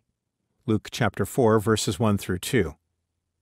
It might be hard to imagine this, but we need to understand that the enemy trying to destroy us is the same enemy who tried to destroy Jesus in the wilderness. But notice it says that Jesus was led by the Spirit into the wilderness. Ask the Holy Spirit to lead you as you engage in spiritual warfare. Later in Christ's ministry, his disciples were asked by a man to heal his son from seizures brought on by a demon. It was the first time they had faced spiritual warfare, and they failed. After Jesus cured the child, the disciples asked, Why could we not cast it out? Jesus explained, This kind does not go out except by prayer and fasting. Refer to Matthew chapter 17 verses 14 through 21. If you study scriptures about the devil's workings, you will see that he does not often duplicate his attacks. As he tried with Jesus in the wilderness, he tries to create unique situations for our failure. As spiritual leaders, we need to prepare ourselves and our people for spiritual warfare. To disregard the opposition we face is to put ourselves and the people we are ministering to in grave danger. We must never take anything for granted in the spiritual realm. Our resources. I believe the first thing is to know the resources needed to deal with the spiritual warfare before us. The key is what Jesus said to the disciples This kind does not go out except by prayer and fasting. We must be committed to prayer and fasting now. The significance here is that we are to be warfare ready. Praying to prepare ourselves before the enemy attacks. A favorite Old Testament story is the one of David and Goliath. If you've been in Sunday school, you've probably heard this story a hundred times. You might remember that King Saul tried to prepare David to face the champion enemy, Goliath, by equipping him with armor and a bronze helmet. I say, if King Saul thought his equipment could defeat the enemy, why didn't he face Goliath himself? Unlike King Saul, David had the spiritual understanding to realize that only God can equip us to battle the enemy. David took off the armor and helmet, and instead took five stones and a sling for his encounter with Goliath. It certainly looked like an unequal face-off. As Scripture says, Then David said to the Philistine, You come to me with a sword, with a spear, and with a javelin, but I come to you in the name of the Lord of hosts, the God of the armies of Israel, whom you have defied. 1 Samuel chapter 17 verse 45. It is tempting to try to equip ourselves to match the enemy. But that does not lead to victory.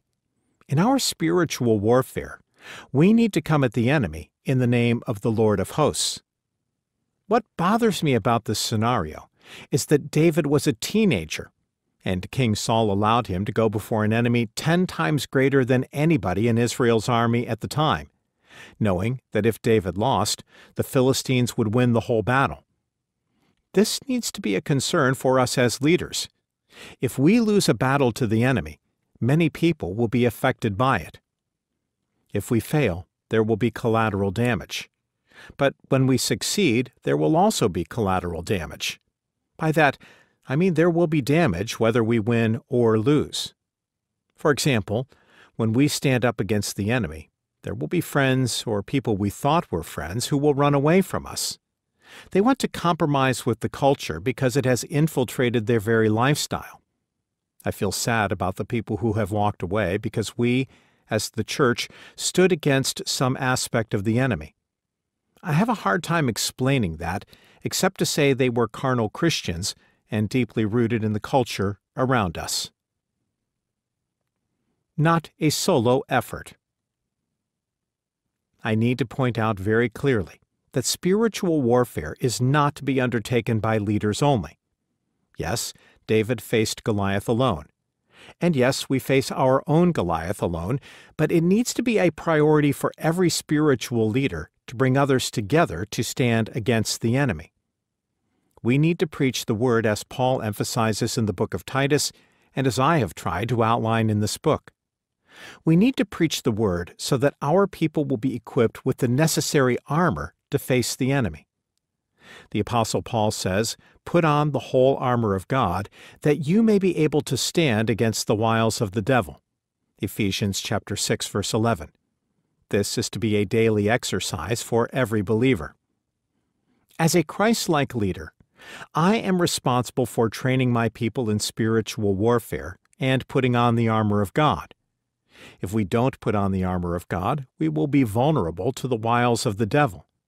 He knows which buttons to push and how to take advantage of our weaknesses. This is why we believers need to assemble, because we are in spiritual warfare and need each other. For one thing, most Christians work in places where there are few Christians.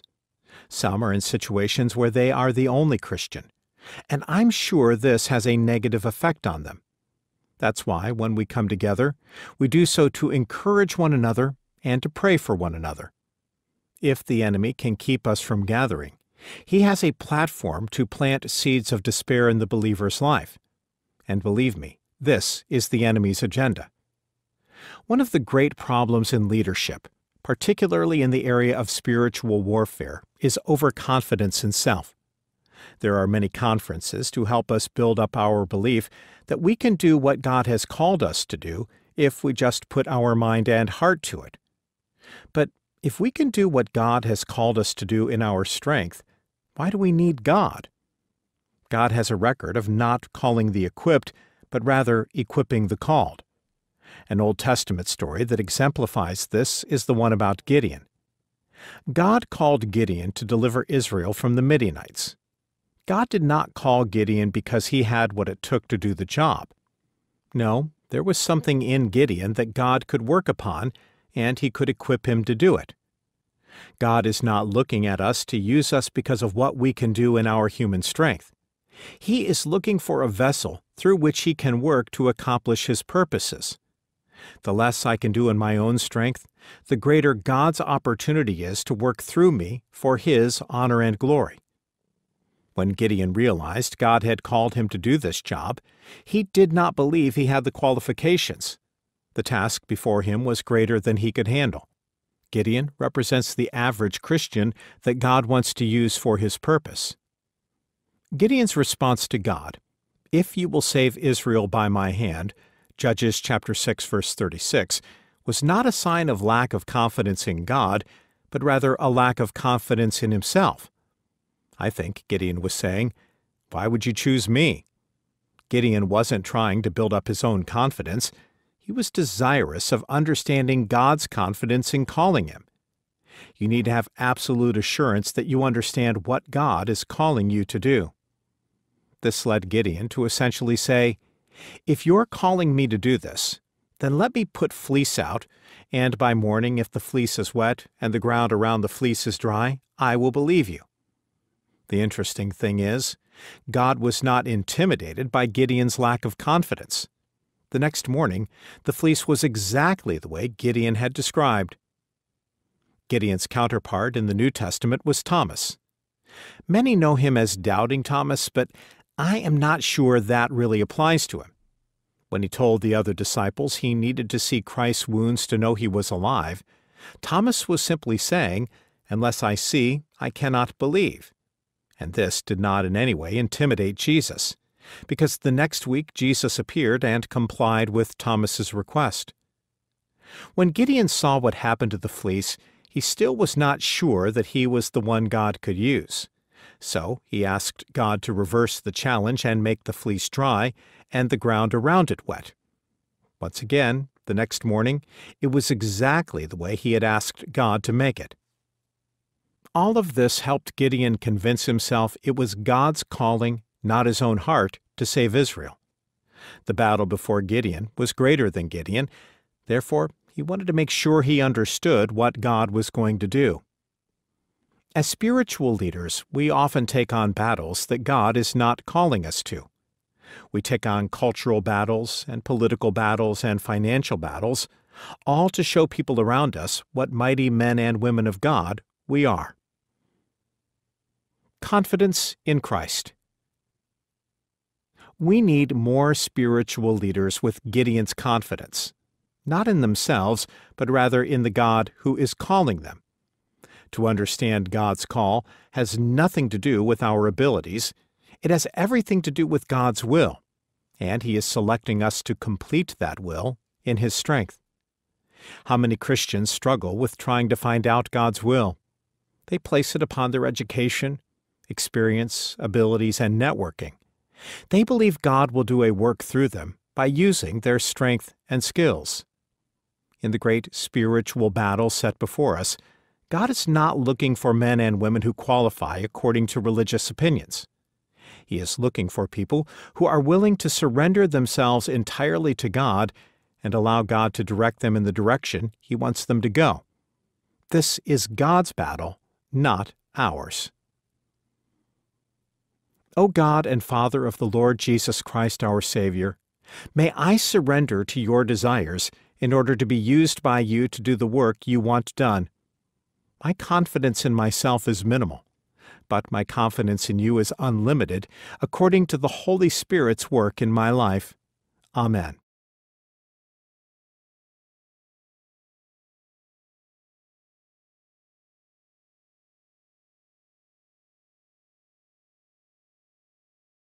Conclusion As you have given time to go through this book, I hope your heart has been stirred to be a true servant of Christ and lead like Christ in the situation where God has placed you. We cannot select where we will serve. That is the prerogative of God, who created us and redeemed us for ministry unto Him. If I am where God wants me to be, I will have the Holy Spirit's power and authority to do work for His honor and glory and pleasure. leading like Christ is not an easy thing. To truly lead like Christ, we need to understand who Christ is and his aspirations concerning the church. One thing that drives me to my knees these days is what I see happening in the Church of Jesus Christ. The culture has all but taken it over. Our church leaders bow humbly before the culture, and we are paying the price for that. I pray that this book will help leaders have the backbone needed to do what is necessary for the Church of Jesus Christ today. To lead like Christ will cost us everything. The Apostle Paul made this clear when he said, From now on, let no one trouble me, for I bear in my body the marks of the Lord Jesus. Galatians chapter 6 verse 17. How dare we expect the world to treat us any differently than it treated the Apostle Paul? Read about Paul in the New Testament, and you will discover the suffering and persecution that he endured because of his stand for Christ. Let us not be afraid of this. If we bow to the culture, we are turning our back on Christ. In the Old Testament, Shadrach, Meshach, and Abednego's response to King Nebuchadnezzar should be a pattern for us. When the king demanded that they bow to the government or else go into the fiery furnace, they replied, If that is the case, our God whom we serve is able to deliver us from the burning fiery furnace and he will deliver us from your hand, O king. But if not, let it be known to you, O king, that we do not serve your gods, nor will we worship the gold image which you have set up. Daniel chapter 3 verses 17 through 18. This kind of commitment is needed today. We will face our own fiery furnaces when we serve God and lead like Christ. But the great joy in persecution is that we will experience God's grace like never before.